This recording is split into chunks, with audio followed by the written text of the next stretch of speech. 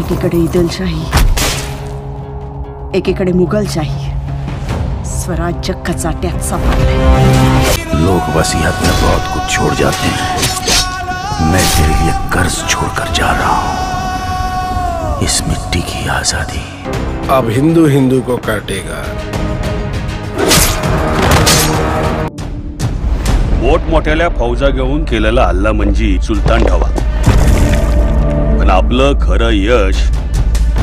जिस तरह उत्तर हिंदुस्तान का पाया तख्त है दिल्ली उसी तरह दक्षिण हिंद का पाया तख्त होगा गोंधाना। सोलह सौ सत्तावन। सिपाहियों आगे बढ़ो। सिवा को जश्न सालगिरह में बुलाओ और इसी लाल किले के दीवाने आम में हम उसे उसकी औकात दिखा देंगे। जब तक कोंढाणा पर फिर से भगवा नहीं लहराता हम जूते नहीं पहनेंगे। काय खबर बहिरजी?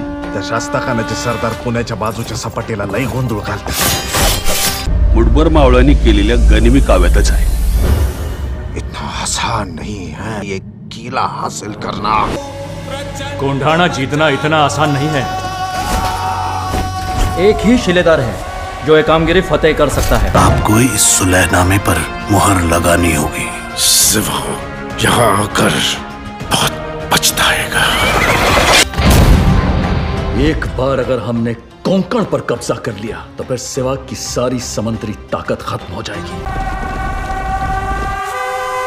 मुक्काम उमरठ नाव सुभेदार तानाजी मालुसरे। पन्हाळा फते होत नाहीये. आणि त्यासाठी आपला मनसुबेबाज मराठी वाघच हवा.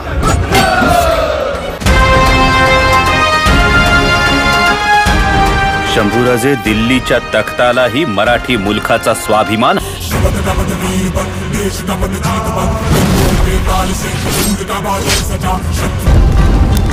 अगर आग कहे तो राजगढ़ पर धावा बोल दे। तीन हजार? पाच हजार? नगराज. मग साठ. बाबा सब कह रहे हैं कि उदयवान के पास बहुत बड़ी सेना है। कैसे हराएँगे? अब तू ही बता।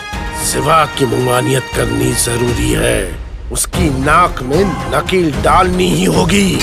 शिवाजी को खत्म कर देंगे तो ऐसे गुस्ताखों की हिम्मत पस्त हो जाएगी कौरव और पांडवों में जीत किसकी हुई?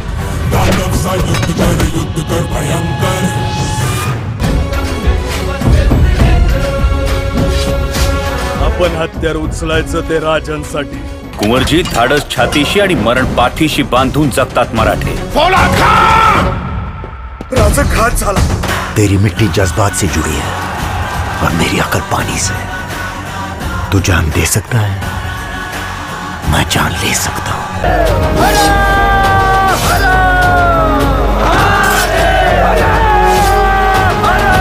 आणि महाराष्ट्राच्या मातीसाठी.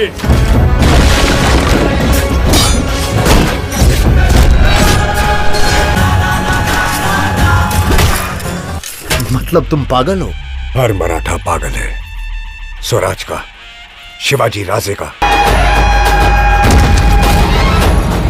खानाच्या दालनापर्यंत पोहोचायला किती वेळ लागतो ते आपल्याला बघ. अगर हर मराठा संभा जैसा होगा तो हम दखन में कभी राज नहीं कर पाएँगे। हमारा एक एक मामला उन सैकड़ों सैनिकों पर भारी पड़ेगा।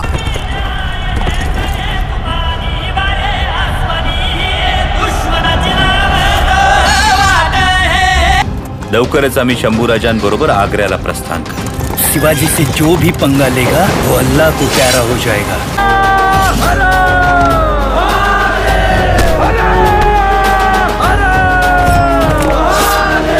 पहिला बार लाख बोला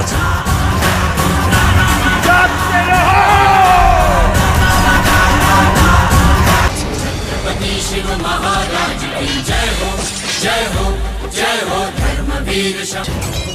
सभी रास्ते शत्रुओं ने रोक लिए हैं राजे। हम तुम्हें अपनाना चाहते हैं। जब शिवाजी राजे की तलवार चलती है तो औरतों का घूंघट और ब्राह्मणों का जनेऊ सलामत रहता है। मुगली आश्रम अपने हवेलीकडे आज से इस हवेली पर हमारे पहरे रहेंगे। उसे ऐसी जगह मारेंगे। अब की बार सेवा को यहाँ पुणे की सतह में बुलाकर मारेंगे। जिस तरह मिट्टी के हर कण में पहाड़ होता है, हर बीज में एक जंगल, हर तलवार में एक सेना, उसी तरह हर एक मराठा में छुपा है लाख मराठा। आज हम बात करेंगे तानाजी के बारे में। तानाजी जिनका पूरा नाम था तानाजी मालूसरे, वह मराठा साम्राज्य के मराठा सेना में सूबेदार सरदार थे। वह छत्रपति शिवाजी महाराज के साथ मराठा साम्राज्य हिंदी स्वराज स्थापना के लिए सूबेदार के रूप में काम करते थे। सूबेदार, जिसे किलेदार भी कहा जाता था। तानाजी छत्रपति शिवाजी महाराज के बचपन के मित्र थे। वे बचपन में एक साथ खेले थे। तानाजी 1670 ईस्वी में सिंहगढ़ की लड़ाई में अपनी महत्वपूर्ण भूमिका के लिए जाने जाते हैं। इन्होंने कुंडाड़ा किला को वापस पाने के लिए अपनी जान तक गंवा दी थी। तानाजी ने कुंडाड़ा किला के लिए अपने बेटे की शादी तक को टाल दिया था। और कहा कि पहले कुंडाड़ा की शादी होगी और बाद में उनके बेटे रायबा की। उन दिनों सूबेदार ताना के बेटे रायबा के विवाह की तैयारियाँ चल रही थी। उसी वक्त तानाजी शिवाजी महाराज के घर अपने बेटे की शादी का आमंत्रण लेकर पहुँचे। तब उन्हें पता चला कि छत पर शिवाजी महाराज कुंडाड़ा पर चढ़ाई करने वाले हैं। तब तानाजी ने कहा कि मैं कुंडाड़ा जीत कर लाऊँगा। कुछ इतिहासकारों का मानना है कि एक दिन शिवाजी महाराज की माँ जीजाबाई अपने महल की खिड़की के सामने बैठी अपने बाल खींच रही थी। तभी उन्होंने कुंडाड़ा पर लहराता हुआ मुगल का झंडा देखा और वह काफ़ी दुखी हुई। इसी दौरान उन्होंने अपने बेटे शिवाजी महाराज को एक संदेशा भिजवाया और कहा कि जितनी जल्दी हो सके वो मुझसे आके मिले। जब संदेशा शिवाजी के पास पहुँचा तो वे कुछ ही देर में अपनी माँ के पास मिलने पहुँच गए। और अपनी माँ जीजाबाई से पूछा कि, क्या बात है? तो उनकी माँ ने कुंडाड़ा किला को वापस पाने की बात कही। इस पर शिवाजी महाराज भी बहुत दुखी हुए।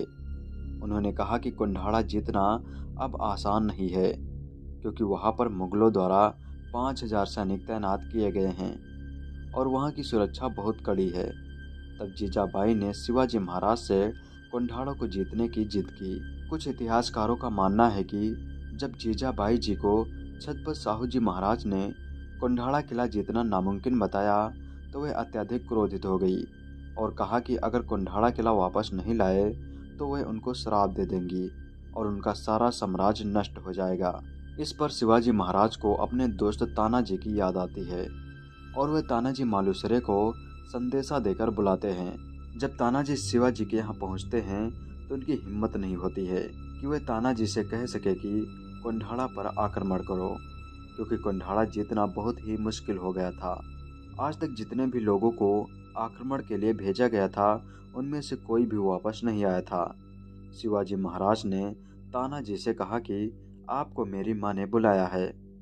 वे यह सुनकर काफ़ी खुश हुए और तुरंत माँ जीजाबाई के पास पहुँचे। तब जीजाबाई ने इन्हें कुंडाड़ा को वापस लाने की बात कही। तानाजी अपने बेटे के विवाह जैसे काम को छोड़कर कुंडाड़ा पर आक्रमण के लिए चले गए। छत्रपति साहू जी महाराज की सेना में कई सरदार थे, परंतु शिवाजी महाराज ने कुंडाड़ा के लिए तानाजी को चुना था, लेकिन तानाजी मारे गए। जब शिवाजी महाराज ने यह समाचार सुना तो वे बहुत दुखी हुए और उनके मुँह से निकल पड़ा गढ़ आला पड़ सिंगेला, जिसका मतलब होता है कि किला तो हमने जीत लिया पर अपना शेर खो दिया। तानाजी की मृत्यु के बाद कई दिनों तक शिवाजी महाराज उनकी याद में रोते रहे और उन्होंने कुंडाड़ा किले का नाम बदलकर सिंहगढ़ का किला नाम रख दिया। तानाजी महाराज का जन्म सत्रहवीं शताब्दी में महाराष्ट्र के कोंकण प्रांत में महाड़ के पास उमरथे में हुआ था। वे बचपन से छत्रपति शिवाजी महाराज के साथ ही थे। तानाजी राव शिवाजी के साथ हर लड़ाई में जाते थे। तानाजी को तलवारबाजी और लड़ाई करने का बहुत शौक था। यही कारण था कि वे शिवाजी के सबसे अच्छे दोस्त थे। तानाजी मालूसरे जब कुंडाड़ा किला को जीतने के लिए गए थे तो वे अपने साथ उनके भाई सूर्या जी मालूसरे और अपने मामा, सेलार मामा को साथ लेकर गए थे। वह पूरे 342 सैनिक लेकर गए थे। तानाजी मालूसरे शरीर से हट्टे कट्टे और शक्तिपूर्ण थे। कुंडाड़ा किला एक बहुत ही महत्वपूर्ण स्थान पर स्थित था। यह ज़मीन से बहुत ऊँचे पहाड़ों पर बना हुआ था। इसकी ऊंचाई समुद्र तल से चवालीस सौ फीट की ऊंचाई पर स्थित है, जिससे कि यह राजनीतिक कारणों से भी काफ़ी महत्वपूर्ण था। आज के समय में यह पुणे से लगभग 30 किलोमीटर की दूरी पर स्थित है। यह किला जीतना शिवाजी महाराज के साम्राज्य के लिए बहुत ही महत्वपूर्ण था। कुंडाड़ा पर आक्रमण के लिए तानाजी अपने सैनिक के साथ एक यशवंती नाम की पालतू गोह ले गए थे, जो कि एक बड़ी छिपकली जैसी होती है।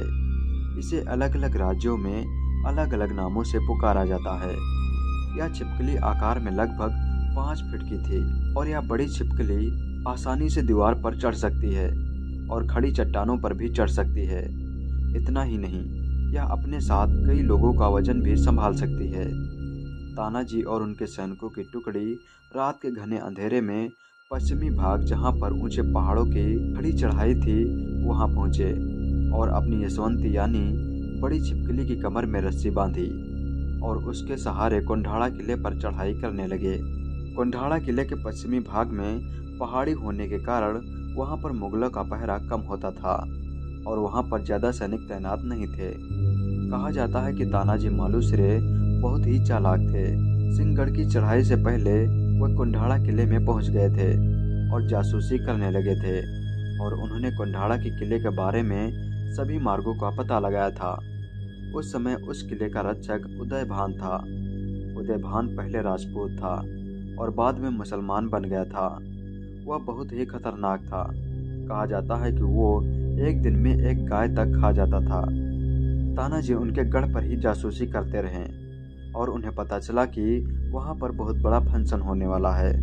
तानाजी कुंडाड़ा पर चढ़ाई के लिए वही समारोह वाली रात चुनी। उस रात सभी मुगल सैनिक भी शराब और अफीम के नशे में धुत थे।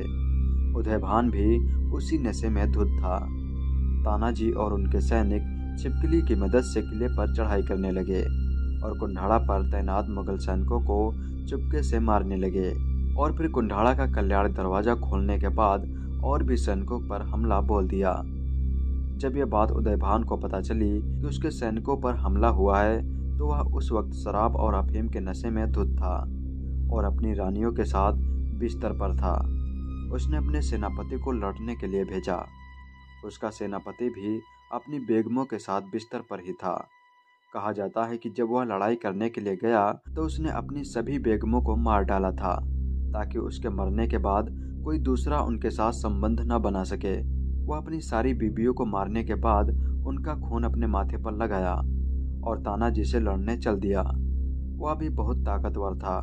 वह भी हर दिन कई किलो गाय का मांस खा जाता था। तानाजी ने उसके सर से लेकर उसके नाभि तक उसके दो हिस्सों में अपनी तलवार से बीच से चीर दिया। यह जानने के बाद भी उदयभान लड़ाई करने के लिए बाहर नहीं आया और उसने अपने बारह पुत्रों को लड़ने के लिए भेजा। लेकिन तानाजी ने उसके बारह पुत्रों को चौबीस टुकड़ों में काट दिया। यह सुनकर उदयपान बहुत ही गुस्से में हो गया और वह अपने हाथी को बहुत सारी अफीम मिलाकर तानाजी के पीछे छोड़ दिया। कहा जाता है कि उदयबान का यह हाथी बहुत ही क्रूर था और यह पहले भी कई लोगों की जान ले चुका था। वह इस हाथी को अक्सर युद्ध में प्रयोग किया करता था। तानाजी ने उस हाथी की सूढ़ काटकर उसे भी खत्म कर दिया। अब उदयभान अपनी सारी रानियों को मारकर तानाजी पर टूट पड़ा और दोनों के बीच घमासान युद्ध हुआ। इसी बीच तानाजी का एक हाथ कट गया और वे गंभीर रूप से घायल हो गए, लेकिन उन्होंने हिम्मत नहीं हारी और अपनी पगड़ी से अपने उस हाथ को बांधकर दोबारा उदयबान से लड़ने लगे। इस लड़ाई के दौरान उदयबान भी काफ़ी घायल हो चुका था। तभी उसी वक्त शिवाजी महाराज की फौज वहाँ पहुँच गई और उन्होंने उदयभान को मार गिराया और किला को जीत लिया। कुछ इतिहासकारों का मानना है कि उदयभान को तानाजी ने ही मारा था, लेकिन कुछ इतिहासकारों का मानना है कि उदयभान को ताना के मामा, सुलार मामा ने उसका गला घोंट दिया था। तानाजी बहुत घायल हो गए थे और उनकी मृत्यु हो गई थी। यह समाचार जब शिवाजी महाराज ने सुना तो वे किला पर पहुँचे। वहाँ पर सारे सैनिक शिवाजी को घेर लिए और जीत की बधाई देने लगे। परंतु शिवाजी ने सबको शांत किया और जश्न मनाने से रोक दिया। उन्होंने कहा, किला तो जीत लिया, पर मैंने अपना शेर खो दिया। इसके बाद इस किले का नाम बदलकर सिंहगढ़ का किला नाम रख दिया गया और पुणे नगर के वाघ बिवाड़ी नामक भाग का नाम बदलकर नरबीर तानाजी वाड़ी कर दिया गया। इसके बाद तानाजी की कई मूर्तियाँ और स्मारक भी बनाए गए। Tanaji the unsung warrior Tanaji के जीवन पर आधारित फ़िल्म है, जिसे ओम राउत ने डायरेक्ट किया है, और इसमें अजय देवगन, काजोल और Saif Ali Khan main lead role में हैं। यह फ़िल्म टी सीरीज़ और अजय देवगन फिल्म्स के तहत रिलीज़ की गई थी। इस फ़िल्म की कहानी कोंडाला किले को जीतने की कहानी है। इस फ़िल्म में म्यूज़िक दिया था संदीप सिरोडकर ने। इस फ़िल्म के डायरेक्टर ओम राउत ने अपने निर्देशन की शुरुआत फ़िल्म लोकमान एक युग पुरुष से की थी। जो कि 2015 में आई थी। इस फ़िल्म को काफ़ी सराहा गया था। फिर इस फ़िल्म की लोकप्रियता और मांग के कारण इसे मराठी में भी डब किया गया। इस समय ओम राउत इस वक्त की सबसे बड़ी फ़िल्म आदि पुरुष पर काम कर रहे हैं। तानाजी की शूटिंग 25 सितंबर 2018 में शुरू हुई थी और मई 2019 के भीतर पूरी हो गई थी। इस फ़िल्म की शूटिंग ज़्यादातर मुंबई शहर में हुई थी और कुछ सीन की शूटिंग पुणे में की गई थी। इस फ़िल्म की सिनेमाटोग्राफी और एडिटिंग कीको नखरा और धर्मेंद्र शर्मा के द्वारा की गई थी, और sound track album Ajay Atul द्वारा लिखा गया था। इस फ़िल्म का म्यूज़िक टी सीरीज़ द्वारा जारी किया गया था। तनहाजी को भारत में थ्री डी में 10 जनवरी 2020 को रिलीज़ किया गया था। फ़िल्म को काफ़ी पसंद किया गया था। खासकर अजय देवगन और सैफ अली खान को आलोचनात्मक प्रशंसा मिली थी। इस फ़िल्म का एक्शन बीएफएक्स और म्यूज़िक को काफ़ी पसंद किया गया था। इस फ़िल्म ने पूरी दुनिया में 3.67 बिलियन रुपए की कमाई की थी और बॉक्स ऑफ़िस पर ब्लॉकबस्टर साबित हुई थी। इस तरह से 2020 की सबसे ज़्यादा कमाई करने वाली फ़िल्म बन गई थी। फ़िल्म को 18वें गोल्डन ग्लोब अवार्ड में दिखाई जाने वाली सर्वश्रेष्ठ विदेशी फ़िल्म में से एक चुना गया था। अड़सठवें राष्ट्रीय फ़िल्म पुरस्कारों में इस फ़िल्म ने संपूर्ण एंटरटेनिंग और सबसे ज़्यादा पसंद की जाने वाली और सर्वश्रेष्ठ अभिनेता अजय देवगन को पुरस्कार और सर्वश्रेष्ठ पोशाक डिज़ाइन के पुरस्कार जीते थे। छठवें फ़िल्म पुरस्कारों में तानाजी को सर्वश्रेष्ठ फ़िल्म और सर्वश्रेष्ठ अभिनेता अजय देवगन सहित तेरह नामांकन प्राप्त हुए थे। और सर्वश्रेष्ठ निर्देशक ओम राउत और सर्वश्रेष्ठ सहायक अभिनेता सैफ अली खान सहित चार पुरस्कार जीते थे। अब जानते हैं इस फ़िल्म की कहानी के बारे में। इस फ़िल्म की शुरुआत सोलह में होती है, जहाँ हमें दिखाया जाता है कि तानाजी के पिता तानाजी को तलवारबाजी सिखा रहे होते हैं। फिर उमरत में मुगलों का हमला होता है और तानाजी के पिता की मृत्यु हो जाती है। तानाजी के पिता उन्हें वसीहत में कर्ज देने की बात कहते हैं। फिर अगले सीन में सत्रह साल बीत चुके हैं और वक्त है सोलह का। अब तानाजी बड़े हो चुके हैं। और अब तानाजी छत पर शिवाजी महाराज की मराठा सेना के प्रमुख सूबेदार बन जाते हैं और मराठा सेना में घुसपैठ करने वाली मुगल सेना पर हमला करते हैं और सभी को मार देते हैं। अब सोलह में मुगल सम्राट औरंगज़ेब अपने सबसे भरोसेमंद जनरलों में से एक अंबर के राजा जयसिंह को शिवाजी को पकड़ने के लिए भेजते हैं, जो कि दक्कन के पठार में उसके हो रहे विस्तार में रिकॉर्ड पैदा कर रहे हैं। फिर कुरंदर की लड़ाई में शिवाजी को अपने तेईस किलो के साथ कब्जा कर लिया जाता है और शिवाजी को बंदी बना लिया जाता है। बाद में मुगल सेनापति बेसक खान, शिवाजी महाराज की माँ जीजाबाई का अपमान करते हुए शिवाजी का महत्वपूर्ण किला कुंढाणा पर कब्जा करने का आदेश देता है। शिवाजी की माँ वहाँ से नंगे पैर ही चली जाती हैं और जब कुंढाड़ा उनके पास वापस ना आ जाए, तब तक जूते न पहनने का वचन देती हैं। इस बारे में तानाजी को भी बताया जाता है। अब पाँच साल बीत चुके हैं। 1670 ईस्वी का वक्त है। शिवाजी को उनके एक जासूस द्वारा पता चलता है कि औरंगज़ेब अपने राजपूत सेनापति उदयभान को कुंढाड़ा से शिवाजी के साम्राज्य पर हमला करने के लिए भेजता है। तब शिवाजी तानाजी के द्वारा कुंढाड़ा पर हमला करने के बारे में सोचते हैं।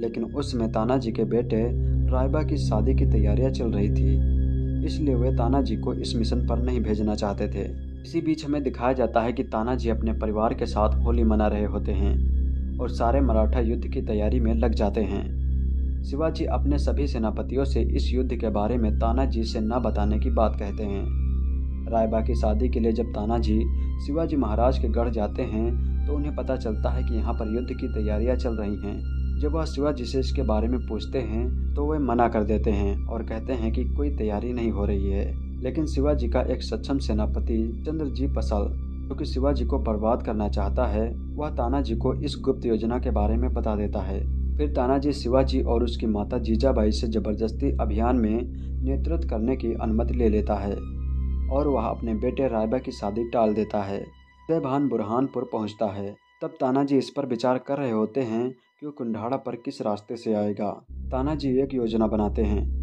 लेकिन एक धोखेबाज मराठा इसके बारे में मुगल सेनापति उदयभान को बता देता है। ये धोखेबाज मराठा वही होता है जिसने शिवाजी का गुप्त अभियान तानाजी को बताया था। यह काम शिवाजी के सेनापति पिसल के द्वारा किया जाता है। वह तानाजी को मारना चाहता है और फिर शिवाजी को बर्बाद करके अपना हाथ उदय भान से मिलाना चाहता है। उदय भान अपने राजपूत सेनापति जगत सिंह की बहन कमला देवी को भी कैद करके साथ ला रहा होता है। चूलिया जो कि पसल का भतीजा होता है उदय भान को तानाजी के प्लान के बारे में बता देता है। फिर उदय भान धोखे से तानाजी की इस योजना को विफल कर देता है और इसमें तानाजी के द्वारा उनके ही मराठे मारे जाते हैं। इस पर तानाजी बहुत दुखी होते हैं। अब उदय भान कुंडाड़ा पहुँचता है और वहाँ पर एक मराठों को उसकी छोटी सी भूल के लिए मार देता है, जो कि उसके गढ़ की रखवाली कर रहा होता है। तब तानाजी उसी मराठा के शव को लेकर मराठों के गाँव पहुँचता है और उदयभान के खिलाफ लड़ने को कहता है, जिससे वह उन मराठाओं के साथ कुंडाड़ा पर शिवरात्रि समारोह में चला जाता है, जहाँ वह मराठों को धोखा देने वाले चुल्लिया को मार देता है। यह देखकर उदयभान तानाजी को कैद कर लेता है और उसे टॉर्चर करने लगता है। जगत सिंह अपनी बहन को बचाने के लिए तानाजी को कैद से भागने में मदद करता है। तब तानाजी उसकी बहन को शिवरात्रि के दिन छुड़ाने का वादा करता है। तानाजी चोर द्वार के द्वारा वहाँ से बाहर निकल जाते हैं और अपने घर उमरत पहुँच जाते हैं और वहाँ अपने अगले युद्ध के बारे में बताते हैं। उधर तानाजी के बेटे के विवाह वाले भी विवाह के लिए परेशान कर रहे होते हैं। तानाजी अपनी पत्नी से वादा करता है कि वह इस युद्ध से ज़िंदा वापस आएगा। वो उसका दुल्हन बनकर स्वागत करेगी।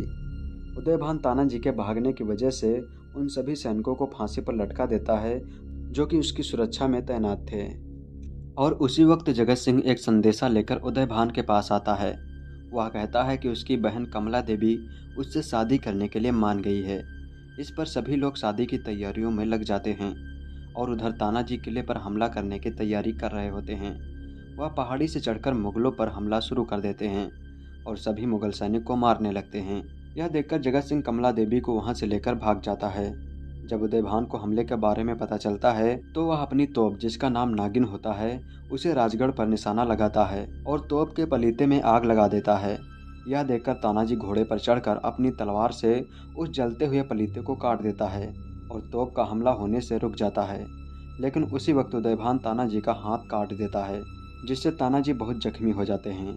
तानाजी घायल होने के बावजूद अपने एक हाथ से लड़ते हुए उदयभान को मौत के घाट उतार देते हैं। और नागिन सहित उदयभान को किले से नीचे गिरा देते हैं और केसरिया झंडा कुंडाड़ा पर लहरा देते हैं। इसी बीच शिवाजी महाराज और उनकी सेना भी वहाँ पर पहुँच जाती है और वे जब तानाजी को देखते हैं तो वह रोने लगते हैं और उनके मुँह से निकल जाता है, गढ़ आला पड़सिंग गेला जिसका मतलब होता है कि गढ़ तो हमने जीत लिया, लेकिन अपना शेर खो दिया। इसके बाद शिवाजी खुद अपने हाथों से तानाजी के बेटे रायबा की शादी कराते हैं। इसके बाद तानाजी की पत्नी अपने कमरे में चली जाती हैं। और बंद दरवाजों के पीछे दुल्हन के रूप में सजकर तानाजी का इंतज़ार करने लगती हैं। औरंगज़ेब का दक्षिण भारत पर शासन करने का सपना सपना ही रह जाता है। अब आइए जानते हैं इस मूवी के कुछ फैक्ट्स के बारे में। अजय देवगन अपनी फ़िल्म सिवाय के बाद सरदार बैटल आप सारागढ़ी फ़िल्म बनाना चाहते थे जो कि 21 सिखों और 10,000 अफगानों के बीच सारागढ़ी पर आधारित थी। लेकिन अगले साल दिवाली पर केसरी फ़िल्म का ऐलान हुआ तब अजय देवगन ने फ़िल्म को न बनाने का फैसला किया। और इसे रद्द कर दिया। इसी बीच अजय देवगन ने निर्देशक ओम राउत के साथ तानाजी मालूसरे के जीवन पर फ़िल्म बनाने का फैसला किया, जिसका नाम रखा गया Tanaji the unsung warrior. Tanaji का पहला लुक 20 जुलाई 2017 को जारी किया गया था और प्री प्रोडक्शन का काम अगले दिन शुरू कर दिया गया था। फिर अजय देवगन ने 6-8 महीनों तक इस फ़िल्म के भारी बेफक्स पर काम किया और फ़िल्म को 3D में बनाने की घोषणा की। 2 अगस्त 2018 में टी सीरीज़ के मालिक भूषण कुमार ने अजय देवगन की प्रोडक्शन कंपनी के साथ मिलकर इस फ़िल्म को बनाने की घोषणा की। फिर मार्च 2019 में फ़िल्म का नाम बदलकर तनहा जिदा अनसंग वॉरियर रख दिया गया। फिर इसमें काजोल और सैफ अली खान को सिलेक्ट किया गया। सैफ अली खान को उदय भान के लिए लिया गया था। इसके लिए सैफ अली खान ने तलवारबाजी और घुड़सवारी भी सीखी थी। इसके पहले अजय देवगन और सैफ अली खान एक साथ ओमकारा फ़िल्म में काम कर चुके थे, जो कि 2004 में आई थी। तानाजी को मुंबई की फ़िल्म सिटी में शूट किया गया था। संधन घाटी जैसा शेड बनाने के लिए 300 फीट लंबा शेड बनाया गया था। अब बात करते हैं इसके संगीत के बारे में। इस फ़िल्म का म्यूज़िक अजय अतुल, सचेत परंपरा, मेहुल ब्यास और प्रसन्नजीत कोसंबी द्वारा दिया गया था। इस फ़िल्म में कुल चार गाने थे, जिनके बोल हैं शंकरा रे शंकरा, माए भवानी, घमंड कर, तिनक तिनक, जिसे गाया था मेहुल ब्यास, सुखविंदर सिंह और श्रेया घोषाल, सचेत टंडन और परंपरा ठाकुर और हर्षदीप कौर ने। अब आइए बात करते हैं इसके बॉक्स ऑफ़िस के बारे में। तानाजी ने अपने शुरुआती दिन घरेलू बॉक्स ऑफ़िस पर 15 करोड़ रुपए कमाए थे। दूसरे दिन फ़िल्म ने साढ़े बीस करोड़ रुपए की कमाई की थी। तीसरे दिन फ़िल्म ने 26 करोड़ रुपए की कमाई की थी, जिससे कुल शुरुआती सप्ताहांक का संग्रह इकसठ करोड़ रुपए हो गया था।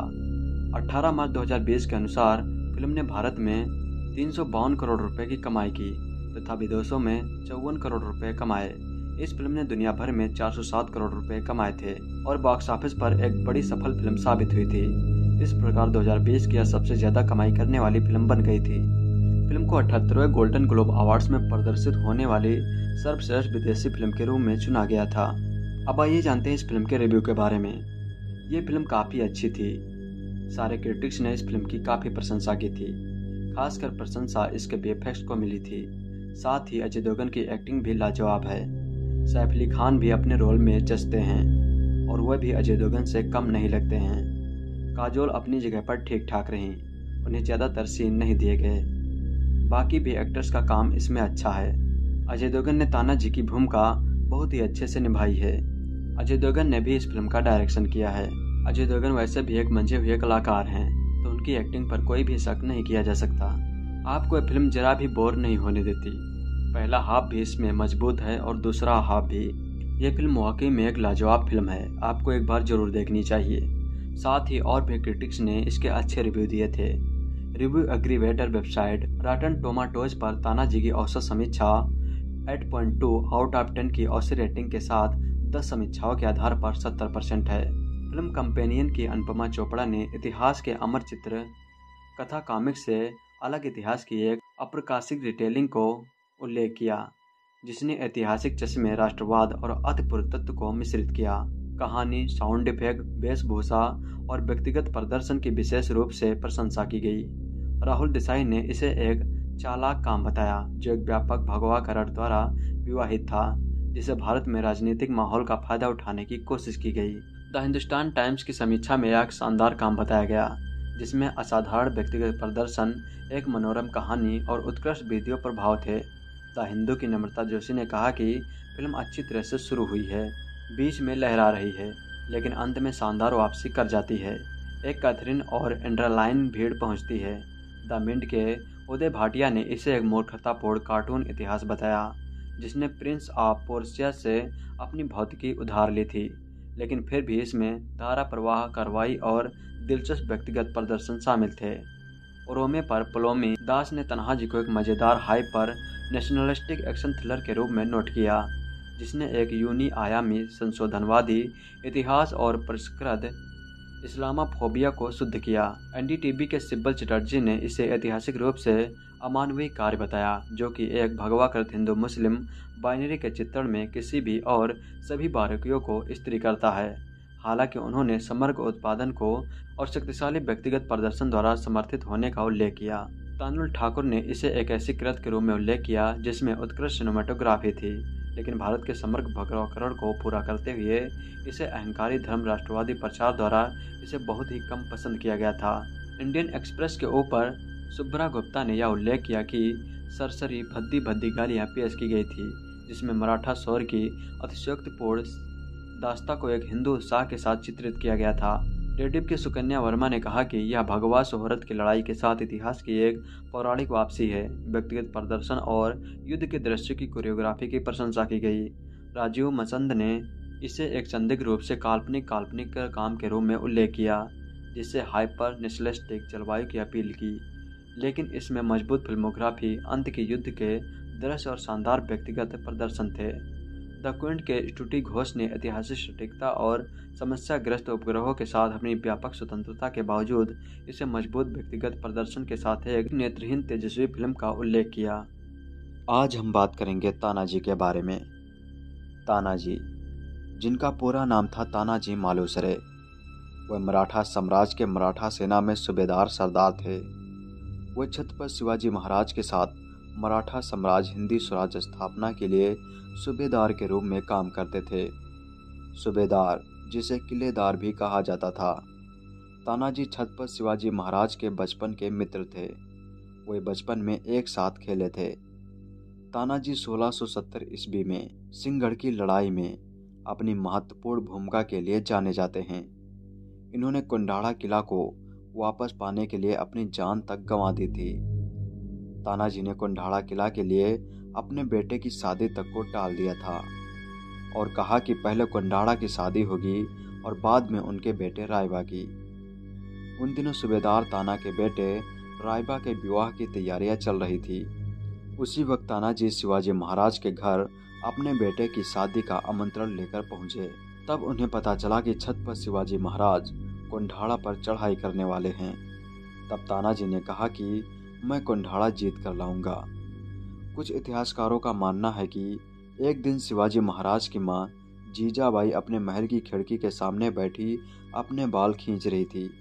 तभी उन्होंने कुंडाड़ा पर लहराता हुआ मुगल का झंडा देखा और वह काफ़ी दुखी हुई। इसी दौरान उन्होंने अपने बेटे शिवाजी महाराज को एक संदेशा भिजवाया और कहा कि जितनी जल्दी हो सके वो मुझसे आके मिले। जब संदेशा शिवाजी के पास पहुँचा तो वे कुछ ही देर में अपनी माँ के पास मिलने पहुँच गए और अपनी माँ जीजाबाई से पूछा कि, क्या बात है? तो उनकी माँ ने कुंडाड़ा किला को वापस पाने की बात कही। इस पर शिवाजी महाराज भी बहुत दुखी हुए। उन्होंने कहा कि कुंडाड़ा जीतना अब आसान नहीं है, क्योंकि वहाँ पर मुगलों द्वारा पाँच हज़ार सैनिक तैनात किए गए हैं और वहाँ की सुरक्षा बहुत कड़ी है। तब जीजाबाई ने शिवाजी महाराज से कुंडाड़ा को जीतने की जिद की। कुछ इतिहासकारों का मानना है कि जब जीजाबाई जी को छत्रपति साहू जी महाराज ने कुंडाड़ा किला जीतना नामुमकिन बताया तो वे अत्यधिक क्रोधित हो गई और कहा कि अगर कुंडाड़ा किला वापस नहीं लाए तो वह उनको श्राप दे देंगी और उनका सारा साम्राज्य नष्ट हो जाएगा। इस पर शिवाजी महाराज को अपने दोस्त तानाजी की याद आती है और वे तानाजी मालूसरे को संदेशा देकर बुलाते हैं। जब तानाजी शिवाजी के यहाँ पहुँचते हैं तो उनकी हिम्मत नहीं होती है कि वे तानाजी से कह सके कि कुंडाड़ा पर आक्रमण करो, क्योंकि कुंडाड़ा जीतना बहुत ही मुश्किल हो गया था। आज तक जितने भी लोगों को आक्रमण के लिए भेजा गया था, उनमें से कोई भी वापस नहीं आया था। शिवाजी महाराज ने तानाजी से कहा कि, आपको मेरी माँ ने बुलाया है। वो यह सुनकर काफ़ी खुश हुए। और तुरंत माँ जीजाबाई के पास पहुँचे। तब जीजाबाई ने इन्हें कुंडाड़ा को वापस लाने की बात कही। तानाजी अपने बेटे के विवाह जैसे काम को छोड़कर कुंडाड़ा पर आक्रमण के लिए चले गए। छत्रपति साहू जी महाराज की सेना में कई सरदार थे, परंतु शिवाजी महाराज ने कुंडाड़ा के लिए तानाजी को चुना था। लेकिन तानाजी मारे गए। जब शिवाजी महाराज ने यह समाचार सुना तो वे बहुत दुखी हुए और उनके मुँह से निकल पड़ा गढ़ आला पड़ सिंगेला, जिसका मतलब होता है कि किला तो हमने जीत लिया, पर अपना शेर खो दिया। तानाजी की मृत्यु के बाद कई दिनों तक शिवाजी महाराज उनकी याद में रोते रहे, और उन्होंने कुंडाड़ा किले का नाम बदलकर सिंहगढ़ का किला नाम रख दिया। तानाजी महाराज का जन्म सत्रहवीं शताब्दी में महाराष्ट्र के कोंकण प्रांत में महाड़ के पास उमरथे में हुआ था। वे बचपन से छत्रपति शिवाजी महाराज के साथी थे। तानाजी राव शिवाजी के साथ हर लड़ाई में जाते थे। तानाजी को तलवारबाजी और लड़ाई करने का बहुत शौक था। यही कारण था कि वे शिवाजी के सबसे अच्छे दोस्त थे। तानाजी मालूसरे जब कुंडाड़ा किला को जीतने के लिए गए थे तो वे अपने साथ उनके भाई सूर्या जी मालूसरे और अपने मामा, सेलार मामा को साथ लेकर गए थे। वह पूरे 342 सैनिक लेकर गए थे। तानाजी मालूसरे शरीर से हट्टे कट्टे और शक्तिपूर्ण थे। कुंडाड़ा किला एक बहुत ही महत्वपूर्ण स्थान पर स्थित था। यह ज़मीन से बहुत ऊँचे पहाड़ों पर बना हुआ था। इसकी ऊंचाई समुद्र तल से चवालीस सौ फीट की ऊंचाई पर स्थित है, जिससे कि यह राजनीतिक कारणों से भी काफ़ी महत्वपूर्ण था। आज के समय में यह पुणे से लगभग 30 किलोमीटर की दूरी पर स्थित है। यह किला जीतना शिवाजी महाराज के साम्राज्य के लिए बहुत ही महत्वपूर्ण था। कुंडाड़ा पर आक्रमण के लिए तानाजी अपने सैनिक के साथ एक यशवंती नाम की पालतू गोह ले गए थे, जो कि एक बड़ी छिपकली जैसी होती है। इसे अलग अलग राज्यों में अलग अलग नामों से पुकारा जाता है। यह छिपकली आकार में लगभग पाँच फीट की थी और यह बड़ी छिपकली आसानी से दीवार पर चढ़ सकती है और खड़ी चट्टानों पर भी चढ़ सकती है। इतना ही नहीं, यह अपने साथ कई लोगों का वज़न भी संभाल सकती है। तानाजी और उनके सैनिकों की टुकड़ी रात के घने अंधेरे में पश्चिमी भाग जहाँ पर ऊँचे पहाड़ों की खड़ी चढ़ाई थी, वहाँ पहुँचे और अपनी यशवंती यानी बड़ी छिपकली की कमर में रस्सी बांधी और उसके सहारे कोंढाड़ा किले पर चढ़ाई करने लगे। कोंढाड़ा किले के पश्चिमी भाग में पहाड़ी होने के कारण वहाँ पर मुगलों का पहरा कम होता था और वहाँ पर ज़्यादा सैनिक तैनात नहीं थे। कहा जाता है कि तानाजी मालूसरे बहुत ही चालाक थे। सिंहगढ़ की चढ़ाई से पहले वह कुंडाड़ा किले में पहुँच गए थे और जासूसी करने लगे थे और उन्होंने कुंडाड़ा के किले के बारे में सभी मार्गों का पता लगाया था। उस समय उस किले का रक्षक उदयभान था। उदयभान पहले राजपूत था और बाद में मुसलमान बन गया था। वह बहुत ही खतरनाक था। कहा जाता है कि वो एक दिन में एक गाय तक खा जाता था। तानाजी उनके गढ़ पर ही जासूसी करते रहे और उन्हें पता चला कि वहाँ पर बहुत बड़ा फ़ंक्शन होने वाला है। तानाजी कुंडाड़ा पर चढ़ाई के लिए वही समारोह वाली रात चुनी। उस रात सभी मुगल सैनिक भी शराब और अफीम के नशे में धुत थे। उदयभान भी उसी नशे में धुत था। तानाजी और उनके सैनिक छिपकली की मदद से किले पर चढ़ाई करने लगे और कुंडाड़ा पर तैनात मुगल सैनिकों को चुपके से मारने लगे और फिर कुंडाड़ा का कल्याण दरवाज़ा खोलने के बाद और भी सैनिकों पर हमला बोल दिया। जब यह बात उदयभान को पता चली कि उसके सैनिकों पर हमला हुआ है तो वह उस वक्त शराब और अफीम के नशे में धुत था और अपनी रानियों के साथ बिस्तर पर था। उसने अपने सेनापति को लड़ने के लिए भेजा। उसका सेनापति भी अपनी बेगमों के साथ बिस्तर पर ही था। कहा जाता है कि जब वह लड़ाई करने के लिए गया तो उसने अपनी सभी बेगमों को मार डाला था, ताकि उसके मरने के बाद कोई दूसरा उनके साथ संबंध न बना सके। वह अपनी सारी बीबियों को मारने के बाद उनका खून अपने माथे पर लगाया और तानाजी से लड़ने चल दिया। वह भी बहुत ताकतवर था। वह भी हर दिन कई किलो गाय का मांस खा जाता था। तानाजी ने उसके सर से लेकर उसके नाभि तक उसके दो हिस्सों में अपनी तलवार से बीच से चीर दिया। यह जानने के बाद भी उदयभान लड़ाई करने के लिए बाहर नहीं आया और उसने अपने बारह पुत्रों को लड़ने के लिए भेजा। लेकिन तानाजी ने उसके बारह पुत्रों को चौबीस टुकड़ों में काट दिया। यह सुनकर उदयपान बहुत ही गुस्से में हो गया और वह अपने हाथी को बहुत सारी अफीम मिलाकर तानाजी के पीछे छोड़ दिया। कहा जाता है कि उदयबान का यह हाथी बहुत ही क्रूर था और यह पहले भी कई लोगों की जान ले चुका था। वह इस हाथी को अक्सर युद्ध में प्रयोग किया करता था। तानाजी ने उस हाथी की सूढ़ काटकर उसे भी खत्म कर दिया। अब उदयभान अपनी सारी रानियों को मारकर तानाजी पर टूट पड़ा और दोनों के बीच घमासान युद्ध हुआ। इसी बीच तानाजी का एक हाथ कट गया और वे गंभीर रूप से घायल हो गए, लेकिन उन्होंने हिम्मत नहीं हारी और अपनी पगड़ी से अपने उस हाथ को बांधकर दोबारा उदयबान से लड़ने लगे। इस लड़ाई के दौरान उदयबान भी काफ़ी घायल हो चुका था। तभी उसी वक्त शिवाजी महाराज की फौज वहाँ पहुँच गई। और उन्होंने उदयभान को मार गिराया और किला को जीत लिया। कुछ इतिहासकारों का मानना है कि उदयभान को तानाजी ने ही मारा था, लेकिन कुछ इतिहासकारों का मानना है कि उदयभान को ताना के मामा, सुलार मामा ने उसका गला घोंट दिया था। तानाजी बहुत घायल हो गए थे और उनकी मृत्यु हो गई थी। यह समाचार जब शिवाजी महाराज ने सुना तो वे किला पर पहुँचे। वहाँ पर सारे सैनिक शिवाजी को घेर लिए। और जीत की बधाई देने लगे। परंतु शिवाजी ने सबको शांत किया और जश्न मनाने से रोक दिया। उन्होंने कहा, किला तो जीत लिया, पर मैंने अपना शेर खो दिया। इसके बाद इस किले का नाम बदलकर सिंहगढ़ का किला नाम रख दिया गया और पुणे नगर के वाक बिवाड़ी नामक भाग का नाम बदलकर नरबीर तानाजी वाड़ी कर दिया गया। इसके बाद तानाजी की कई मूर्तियाँ और स्मारक भी बनाए गए।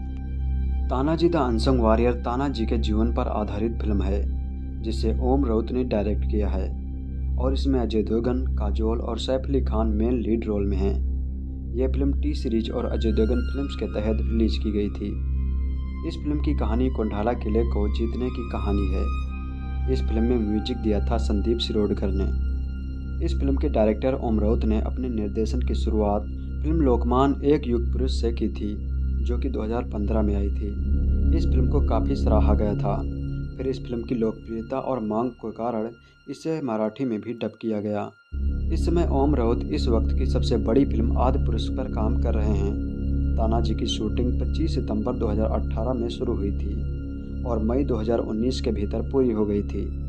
इस फ़िल्म की शूटिंग ज़्यादातर मुंबई शहर में हुई थी और कुछ सीन की शूटिंग पुणे में की गई थी। इस फ़िल्म की सिनेमाटोग्राफी और एडिटिंग कीको नखरा और धर्मेंद्र शर्मा के द्वारा की गई थी, और sound track album Ajay Atul द्वारा लिखा गया था। इस फ़िल्म का म्यूज़िक टी सीरीज़ द्वारा जारी किया गया था। तन्हा जी को भारत में थ्री में 10 जनवरी 2020 को रिलीज़ किया गया था।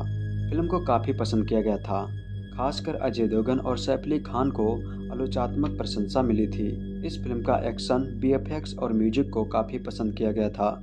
इस फ़िल्म ने पूरी दुनिया में 3.67 बिलियन रुपए की कमाई की थी और बॉक्स ऑफ़िस पर ब्लॉकबस्टर साबित हुई थी। इस तरह से 2020 की सबसे ज़्यादा कमाई करने वाली फ़िल्म बन गई थी। फ़िल्म को 18वें गोल्डन ग्लोब अवार्ड में दिखाई जाने वाली सर्वश्रेष्ठ विदेशी फ़िल्म में से एक चुना गया था। अड़सठवें राष्ट्रीय फ़िल्म पुरस्कारों में इस फ़िल्म ने संपूर्ण एंटरटेनिंग और सबसे ज़्यादा पसंद की जाने वाली और सर्वश्रेष्ठ अभिनेता अजय देवगन को पुरस्कार और सर्वश्रेष्ठ पोशाक डिज़ाइन के पुरस्कार जीते थे। छठवें फ़िल्म पुरस्कारों में तानाजी को सर्वश्रेष्ठ फ़िल्म और सर्वश्रेष्ठ अभिनेता अजय देवगन सहित तेरह नामांकन प्राप्त हुए थे। और सर्वश्रेष्ठ निर्देशक ओम राउत और सर्वश्रेष्ठ सहायक अभिनेता सैफ अली खान सहित चार पुरस्कार जीते थे। अब जानते हैं इस फ़िल्म की कहानी के बारे में। इस फ़िल्म की शुरुआत सोलह में होती है। जहाँ हमें दिखाया जाता है कि ताना जी के पिता ताना जी को तलवारबाजी सिखा रहे होते हैं। फिर उमरत में मुग़लों का हमला होता है और ताना जी के पिता की मृत्यु हो जाती है। ताना जी के पिता उन्हें वसीहत में कर्ज देने की बात कहते हैं। फिर अगले सीन में सत्रह साल बीत चुके हैं और वक्त है सोलह का।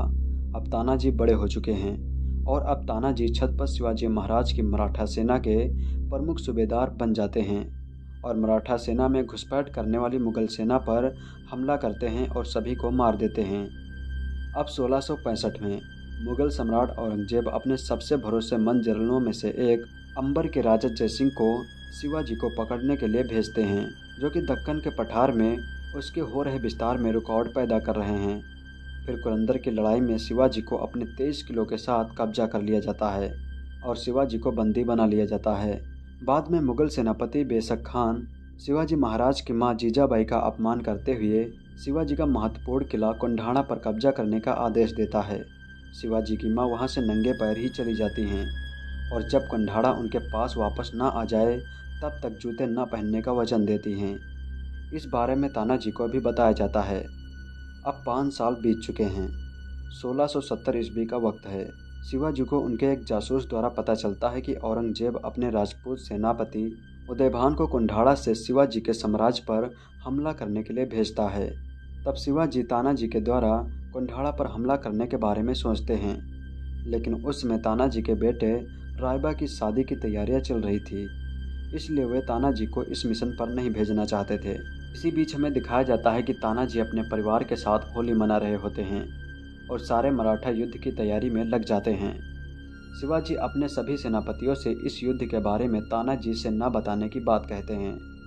रायबा की शादी के लिए जब तानाजी, शिवाजी महाराज के गढ़ जाते हैं तो उन्हें पता चलता है कि यहाँ पर युद्ध की तैयारियाँ चल रही हैं। जब वह शिवाजी से इसके बारे में पूछते हैं तो वे मना कर देते हैं और कहते हैं कि कोई तैयारी नहीं हो रही है। लेकिन शिवाजी का एक सक्षम सेनापति चंद्रजी पसल जो कि शिवाजी को बर्बाद करना चाहता है, वह तानाजी को इस गुप्त योजना के बारे में बता देता है। फिर तानाजी शिवाजी और उसकी माता जीजाबाई से ज़बरदस्ती अभियान में नेतृत्व करने की अनुमति ले लेता है और वह अपने बेटे रायबा की शादी टाल देता है। भान बुरहानपुर पहुँचता है। तब तानाजी इस पर विचार कर रहे होते हैं कि वो कुंडाड़ा पर किस रास्ते से आएगा। तानाजी एक योजना बनाते हैं, लेकिन एक धोखेबाज मराठा इसके बारे में मुगल सेनापति उदयभान को बता देता है। ये धोखेबाज मराठा वही होता है जिसने शिवाजी का गुप्त अभियान तानाजी को बताया था। यह काम शिवाजी के सेनापति पिसल के द्वारा किया जाता है।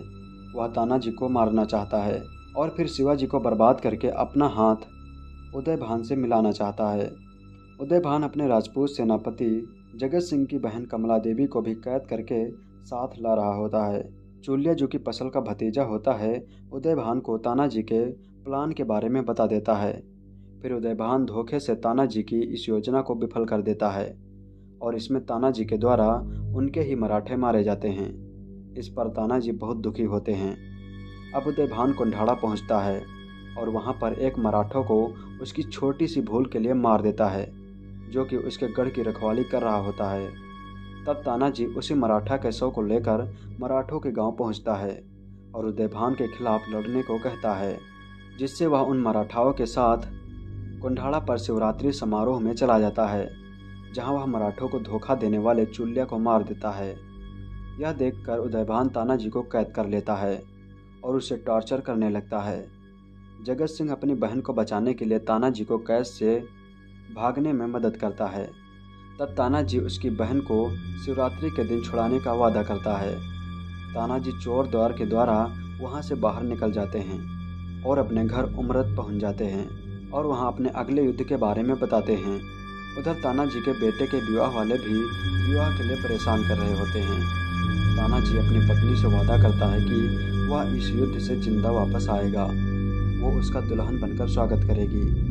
उदयभान तानाजी के भागने की वजह से उन सभी सैनिकों को फांसी पर लटका देता है, जो कि उसकी सुरक्षा में तैनात थे। और उसी वक्त जगत सिंह एक संदेशा लेकर उदयभान के पास आता है। वह कहता है कि उसकी बहन कमला देवी उससे शादी करने के लिए मान गई है। इस पर सभी लोग शादी की तैयारियों में लग जाते हैं और उधर तानाजी किले पर हमला करने की तैयारी कर रहे होते हैं। वह पहाड़ी से चढ़कर मुगलों पर हमला शुरू कर देते हैं और सभी मुगल सैनिक को मारने लगते हैं। यह देखकर जगत सिंह कमला देवी को वहाँ से लेकर भाग जाता है। जब उदयभान को हमले के बारे में पता चलता है तो वह अपनी तोप, जिसका नाम नागिन होता है उसे राजगढ़ पर निशाना लगाता है और तोप के पलीते में आग लगा देता है। यह देखकर तानाजी घोड़े पर चढ़कर अपनी तलवार से उस जलते हुए पलीते को काट देता है और तोप का हमला होने से रुक जाता है। लेकिन उसी वक्त उदयभान तानाजी का हाथ काट देता है, जिससे तानाजी बहुत जख्मी हो जाते हैं। तानाजी घायल होने के बावजूद अपने एक हाथ से लड़ते हुए उदयभान को मौत के घाट उतार देते हैं और नागिन सहित उदयभान को किले से नीचे गिरा देते हैं। और केसरिया झंडा कुंडाड़ा पर लहरा देते हैं। इसी बीच शिवाजी महाराज और उनकी सेना भी वहाँ पर पहुँच जाती है और वे जब तानाजी को देखते हैं तो वह रोने लगते हैं और उनके मुँह से निकल जाता है, गढ़ आला पड़सिंग गेला जिसका मतलब होता है कि गढ़ तो हमने जीत लिया, लेकिन अपना शेर खो दिया। इसके बाद शिवाजी खुद अपने हाथों से तानाजी के बेटे रायबा की शादी कराते हैं। इसके बाद तानाजी की पत्नी अपने कमरे में चली जाती हैं और बंद दरवाजों के पीछे दुल्हन के रूप में सजकर तानाजी का इंतज़ार करने लगती हैं। औरंगज़ेब का दक्षिण भारत पर शासन करने का सपना सपना ही रह जाता है। अब आइए जानते हैं इस मूवी के कुछ फैक्ट्स के बारे में। अजय देवगन अपनी फ़िल्म सिवाय के बाद Sardar battle of Saragarhi film बनाना चाहते थे जो कि 21 सिखों और 10,000 अफगानों के बीच सारागढ़ी पर आधारित थी। लेकिन अगले साल दिवाली पर केसरी फ़िल्म का ऐलान हुआ। तब अजय देवगन ने फ़िल्म को न बनाने का फैसला किया और इसे रद्द कर दिया।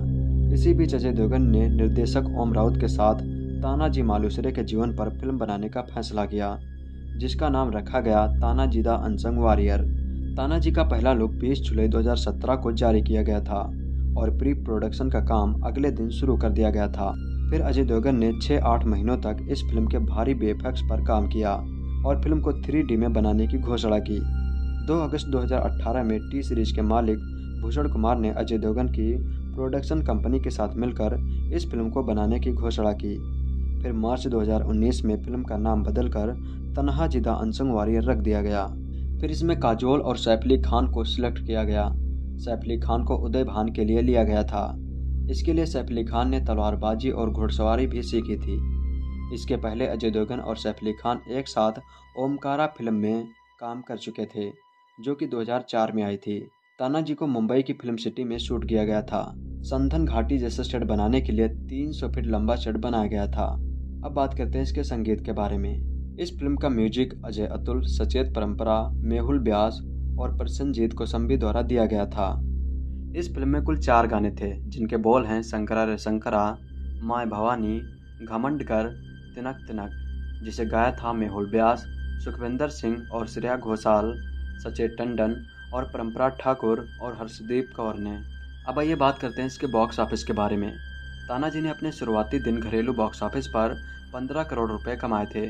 दूसरे दिन फ़िल्म ने साढ़े बीस करोड़ रुपए की कमाई की थी। तीसरे दिन फ़िल्म ने 26 करोड़ रुपए की कमाई की थी जिससे कुल शुरुआती सप्ताहांक का संग्रह इकसठ करोड़ रुपए हो गया था। 18 मार्च 2020 के अनुसार फ़िल्म ने भारत में तीन सौ बावन करोड़ रुपए की कमाई की। तथा विदेशों में चौवन करोड़ रुपए कमाए। इस फ़िल्म ने दुनिया भर में 407 करोड़ रुपए कमाए थे और बॉक्स ऑफ़िस पर एक बड़ी सफल फ़िल्म साबित हुई थी। इस प्रकार 2020 की यह सबसे ज़्यादा कमाई करने वाली फ़िल्म बन गई थी। फ़िल्म को अठहत्तरवें गोल्डन ग्लोब अवार्ड्स में प्रदर्शित होने वाली सर्वश्रेष्ठ विदेशी फ़िल्म के रूप में चुना गया था। अब आइए जानते हैं इस फ़िल्म के रिव्यू के बारे में। ये फ़िल्म काफ़ी अच्छी थी। सारे क्रिटिक्स ने इस फ़िल्म की काफ़ी प्रशंसा की थी। खासकर प्रशंसा इसके बेफेक्स को मिली थी। साथ ही अजय देवगन की एक्टिंग भी लाजवाब है। सैफ अली खान भी अपने रोल में जचते हैं और वह भी अजय देवगन से कम नहीं लगते हैं।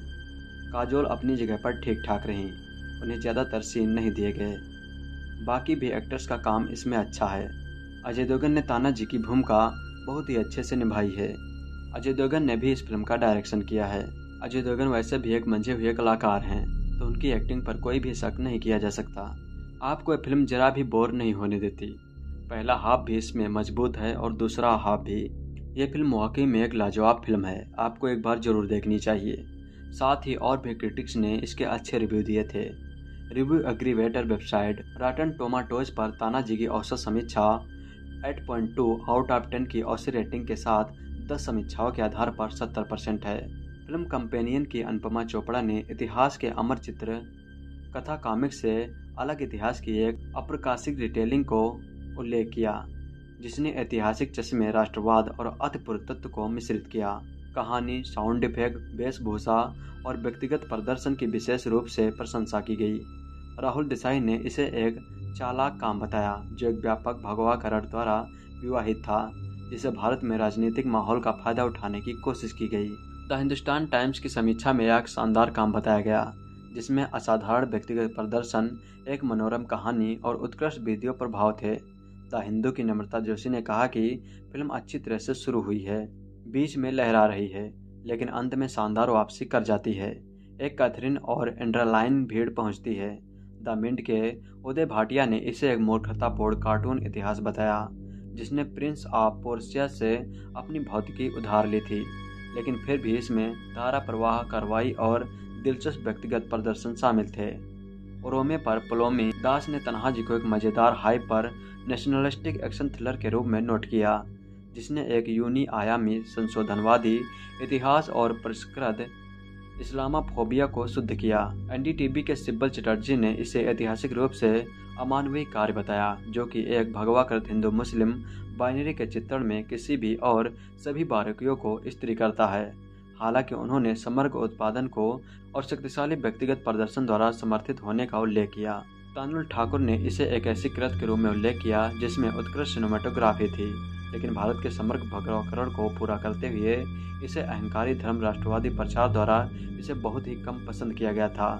इंडियन एक्सप्रेस के ऊपर सुब्रा गुप्ता ने यह उल्लेख किया कि सरसरी भद्दी भद्दी गालियाँ पेश की गई थी, जिसमें मराठा शौर की अतिशयोक्तिपूर्ण दास्ता को एक हिंदू उत्साह के साथ चित्रित किया गया था। रेडिप की सुकन्या वर्मा ने कहा कि यह भगवा शोहरत की लड़ाई के साथ इतिहास की एक पौराणिक वापसी है। व्यक्तिगत प्रदर्शन और युद्ध के दृश्य की कोरियोग्राफी की प्रशंसा की गई।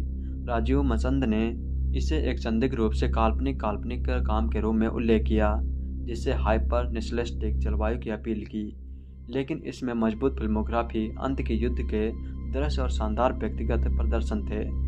क्विंट के स्टूटी घोष ने ऐतिहासिक सटीकता और समस्याग्रस्त उपग्रहों के साथ अपनी व्यापक स्वतंत्रता के बावजूद इसे मज़बूत व्यक्तिगत प्रदर्शन के साथ एक नेत्रहीन तेजस्वी फ़िल्म का उल्लेख किया। आज हम बात करेंगे तानाजी के बारे में। तानाजी जिनका पूरा नाम था तानाजी मालूसरे, वह मराठा साम्राज्य के मराठा सेना में सूबेदार सरदार थे। वह छत्रपति शिवाजी महाराज के साथ मराठा साम्राज्य हिंदी स्वराज स्थापना के लिए सूबेदार के रूप में काम करते थे। सूबेदार, जिसे किलेदार भी कहा जाता था। तानाजी छत्रपति शिवाजी महाराज के बचपन के मित्र थे। वे बचपन में एक साथ खेले थे। तानाजी 1670 ईस्वी में सिंहगढ़ की लड़ाई में अपनी महत्वपूर्ण भूमिका के लिए जाने जाते हैं। इन्होंने कुंडाड़ा किला को वापस पाने के लिए अपनी जान तक गंवा दी थी। तानाजी ने कुंडाड़ा किला के लिए अपने बेटे की शादी तक को टाल दिया था और कहा कि पहले कुंडाड़ा की शादी होगी और बाद में उनके बेटे रायबा की। उन दिनों सूबेदार ताना के बेटे रायबा के विवाह की तैयारियाँ चल रही थी। उसी वक्त तानाजी शिवाजी महाराज के घर अपने बेटे की शादी का आमंत्रण लेकर पहुँचे। तब उन्हें पता चला कि छत पर शिवाजी महाराज कुंडाड़ा पर चढ़ाई करने वाले हैं। तब तानाजी ने कहा कि मैं कुंडाड़ा जीत कर लाऊँगा। कुछ इतिहासकारों का मानना है कि एक दिन शिवाजी महाराज की माँ जीजाबाई अपने महल की खिड़की के सामने बैठी अपने बाल खींच रही थी। तभी उन्होंने कुंडाड़ा पर लहराता हुआ मुगल का झंडा देखा और वह काफ़ी दुखी हुई। इसी दौरान उन्होंने अपने बेटे शिवाजी महाराज को एक संदेशा भिजवाया और कहा कि जितनी जल्दी हो सके वो मुझसे आके मिले। जब संदेशा शिवाजी के पास पहुँचा तो वे कुछ ही देर में अपनी माँ के पास मिलने पहुँच गए और अपनी माँ जीजाबाई से पूछा कि, क्या बात है? तो उनकी माँ ने कुंडाड़ा किला को वापस पाने की बात कही। इस पर शिवाजी महाराज भी बहुत दुखी हुए। उन्होंने कहा कि कुंडाड़ा जीतना अब आसान नहीं है, क्योंकि वहाँ पर मुगलों द्वारा पाँच हज़ार सैनिक तैनात किए गए हैं और वहाँ की सुरक्षा बहुत कड़ी है। तब जीजाबाई ने शिवाजी महाराज से कुंडाड़ों को जीतने की जिद की। कुछ इतिहासकारों का मानना है कि जब जीजाबाई जी को छत्रपति साहू जी महाराज ने कुंडाड़ा किला जीतना नामुमकिन बताया तो वह अत्यधिक क्रोधित हो गई और कहा कि अगर कुंडाड़ा किला वापस नहीं लाए तो वह उनको श्राप दे देंगी और उनका सारा साम्राज्य नष्ट हो जाएगा। इस पर शिवाजी महाराज को अपने दोस्त तानाजी की याद आती है और वे तानाजी मालूसरे को संदेशा देकर बुलाते हैं। जब तानाजी शिवाजी के यहाँ पहुँचते हैं तो उनकी हिम्मत नहीं होती है कि वे तानाजी से कह सके कि कुंडाड़ा पर आक्रमण करो, क्योंकि कुंडाड़ा जीतना बहुत ही मुश्किल हो गया था। आज तक जितने भी लोगों को आक्रमण के लिए भेजा गया था, उनमें से कोई भी वापस नहीं आया था। शिवाजी महाराज ने तानाजी से कहा कि आपको मेरी माँ ने बुलाया है। वे यह सुनकर काफ़ी खुश हुए और तुरंत माँ जीजाबाई के पास पहुँचे। तब जीजाबाई ने इन्हें कुंडाड़ा को वापस लाने की बात कही। तानाजी अपने बेटे के विवाह जैसे काम को छोड़कर कुंडाड़ा पर आक्रमण के लिए चले गए। छत्रपति साहू जी महाराज की सेना में कई सरदार थे, परंतु शिवाजी महाराज ने कुंडाड़ा के लिए तानाजी को चुना था। लेकिन तानाजी मारे गए। जब शिवाजी महाराज ने यह समाचार सुना तो वे बहुत दुखी हुए और उनके मुँह से निकल पड़ा गढ़ आला पड़ सिंगेला जिसका मतलब होता है कि किला तो हमने जीत लिया, पर अपना शेर खो दिया। तानाजी की मृत्यु के बाद कई दिनों तक शिवाजी महाराज उनकी याद में रोते रहे और उन्होंने कुंडाड़ा किले का नाम बदलकर सिंहगढ़ का किला नाम रख दिया। तानाजी महाराज का जन्म सत्रहवीं शताब्दी में महाराष्ट्र के कोंकण प्रांत में महाड़ के पास उमरथे में हुआ था। वे बचपन से छत्रपति शिवाजी महाराज के साथी थे। तानाजी राव शिवाजी के साथ हर लड़ाई में जाते थे। तानाजी को तलवारबाजी और लड़ाई करने का बहुत शौक था। यही कारण था कि वे शिवाजी के सबसे अच्छे दोस्त थे। तानाजी मालूसरे जब कुंडाड़ा किला को जीतने के लिए गए थे तो वे अपने साथ उनके भाई सूर्या जी मालूसरे और अपने मामा, सेलार मामा को साथ लेकर गए थे। वह पूरे 342 सैनिक लेकर गए थे। तानाजी मालूसरे शरीर से हट्टे कट्टे और शक्तिपूर्ण थे। कुंडाड़ा किला एक बहुत ही महत्वपूर्ण स्थान पर स्थित था। यह ज़मीन से बहुत ऊँचे पहाड़ों पर बना हुआ था। इसकी ऊंचाई समुद्र तल से चवालीस सौ फीट की ऊंचाई पर स्थित है, जिससे कि यह राजनीतिक कारणों से भी काफ़ी महत्वपूर्ण था। आज के समय में यह पुणे से लगभग 30 किलोमीटर की दूरी पर स्थित है। यह किला जीतना शिवाजी महाराज के साम्राज्य के लिए बहुत ही महत्वपूर्ण था। कुंडाड़ा पर आक्रमण के लिए तानाजी अपने सैनिक के साथ एक यशवंती नाम की पालतू गोह ले गए थे, जो कि एक बड़ी छिपकली जैसी होती है। इसे अलग अलग राज्यों में अलग अलग नामों से पुकारा जाता है। यह छिपकली आकार में लगभग पाँच फीट की थी और यह बड़ी छिपकली आसानी से दीवार पर चढ़ सकती है और खड़ी चट्टानों पर भी चढ़ सकती है।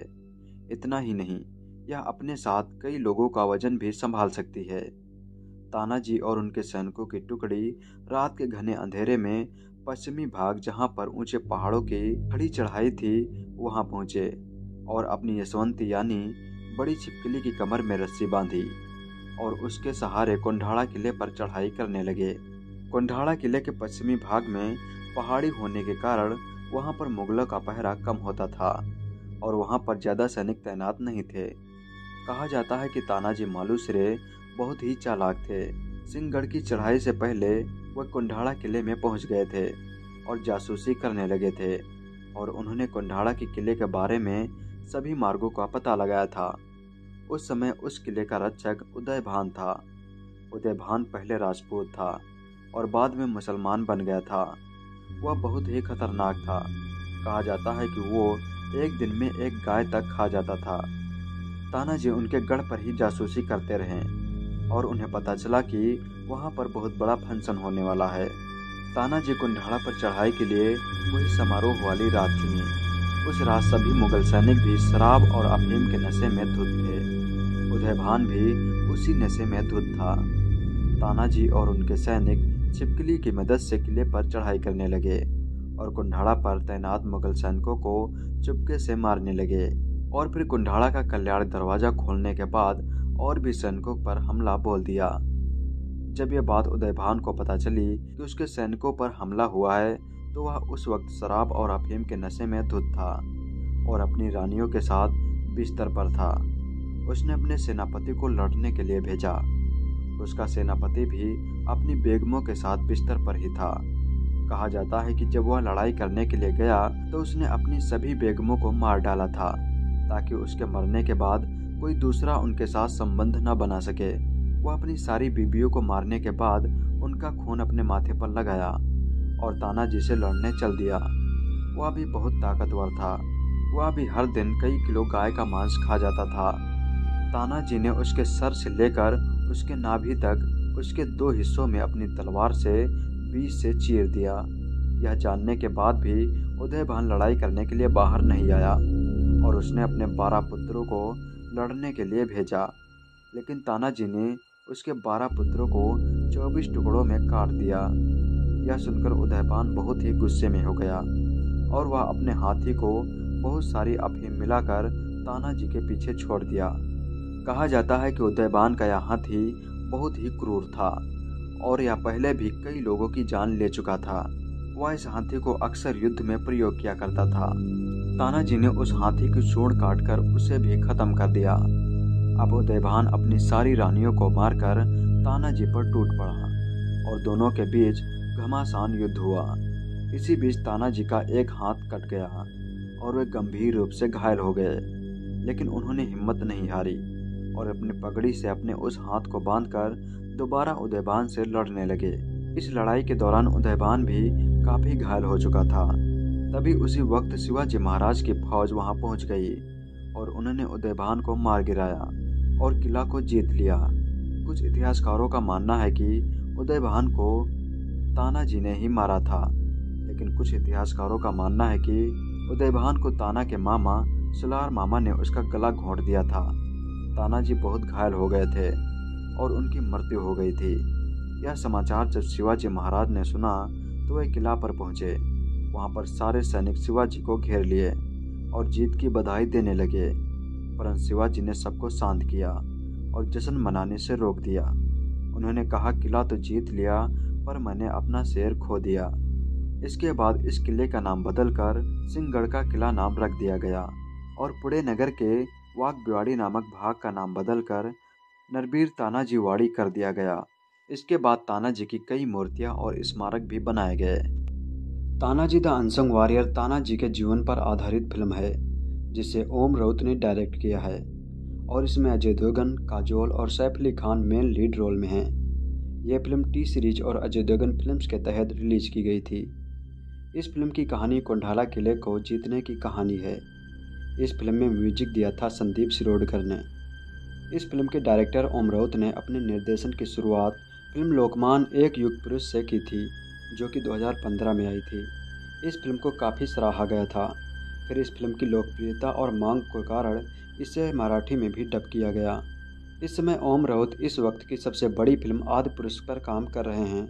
तानाजी की शूटिंग 25 सितंबर 2018 में शुरू हुई थी और मई 2019 के भीतर पूरी हो गई थी। इस फ़िल्म की शूटिंग ज़्यादातर मुंबई शहर में हुई थी और कुछ सीन की शूटिंग पुणे में की गई थी। इस फ़िल्म की सिनेमेटोग्राफी और एडिटिंग कीको नखरा और धर्मेंद्र शर्मा के द्वारा की गई थी, और sound track album Ajay Atul द्वारा लिखा गया था। इस फ़िल्म का म्यूज़िक टी सीरीज़ द्वारा जारी किया गया था। तन्हाजी को भारत में थ्री डी में 10 जनवरी 2020 को रिलीज़ किया गया था। फ़िल्म को काफ़ी पसंद किया गया था, खासकर अजय देवगन और सैफ अली खान को आलोचनात्मक प्रशंसा मिली थी। इस फ़िल्म का एक्शन बीएफएक्स और म्यूज़िक को काफ़ी पसंद किया गया था। इस फ़िल्म ने पूरी दुनिया में 3.67 बिलियन रुपए की कमाई की थी और बॉक्स ऑफ़िस पर ब्लॉकबस्टर साबित हुई थी। इस तरह से 2020 की सबसे ज़्यादा कमाई करने वाली फ़िल्म बन गई थी। फ़िल्म को 18वें गोल्डन ग्लोब अवार्ड में दिखाई जाने वाली सर्वश्रेष्ठ विदेशी फ़िल्म में से एक चुना गया था। अड़सठवें राष्ट्रीय फ़िल्म पुरस्कारों में इस फ़िल्म ने संपूर्ण एंटरटेनिंग और सबसे ज़्यादा पसंद की जाने वाली और सर्वश्रेष्ठ अभिनेता अजय देवगन को पुरस्कार और सर्वश्रेष्ठ पोशाक डिज़ाइन के पुरस्कार जीते थे। छठवें फ़िल्म पुरस्कारों में तानाजी को सर्वश्रेष्ठ फ़िल्म और सर्वश्रेष्ठ अभिनेता अजय देवगन सहित तेरह नामांकन प्राप्त हुए थे और सर्वश्रेष्ठ निर्देशक ओम राउत और सर्वश्रेष्ठ सहायक अभिनेता सैफ अली खान सहित चार पुरस्कार जीते थे। अब जानते हैं इस फ़िल्म की कहानी के बारे में। इस फ़िल्म की शुरुआत सोलह में होती है। जहाँ हमें दिखाया जाता है कि तानाजी के पिता तानाजी को तलवारबाजी सिखा रहे होते हैं। फिर उमरत में मुगलों का हमला होता है और तानाजी के पिता की मृत्यु हो जाती है। तानाजी के पिता उन्हें वसीहत में कर्ज देने की बात कहते हैं। फिर अगले सीन में सत्रह साल बीत चुके हैं और वक्त है सोलह सौ चौंसठ का। अब तानाजी बड़े हो चुके हैं और अब तानाजी छत्रपति शिवाजी महाराज की मराठा सेना के प्रमुख सूबेदार बन जाते हैं। और मराठा सेना में घुसपैठ करने वाली मुगल सेना पर हमला करते हैं और सभी को मार देते हैं। अब सोलह में मुगल सम्राट औरंगज़ेब अपने सबसे भरोसेमंद जनरलों में से एक अंबर के राजा जयसिंह को शिवाजी को पकड़ने के लिए भेजते हैं, जो कि दक्कन के पठार में उसके हो रहे विस्तार में रिकॉर्ड पैदा कर रहे हैं। फिर कुरंदर की लड़ाई में शिवाजी को अपने तेईस किलो के साथ कब्जा कर लिया जाता है और शिवाजी को बंदी बना लिया जाता है। बाद में मुगल सेनापति बेसक खान, शिवाजी महाराज की माँ जीजाबाई का अपमान करते हुए शिवाजी का महत्वपूर्ण किला कुंढाणा पर कब्जा करने का आदेश देता है। शिवाजी की माँ वहाँ से नंगे पैर ही चली जाती हैं और जब कंढाड़ा उनके पास वापस ना आ जाए, तब तक जूते न पहनने का वचन देती हैं। इस बारे में तानाजी को भी बताया जाता है। अब पाँच साल बीत चुके हैं।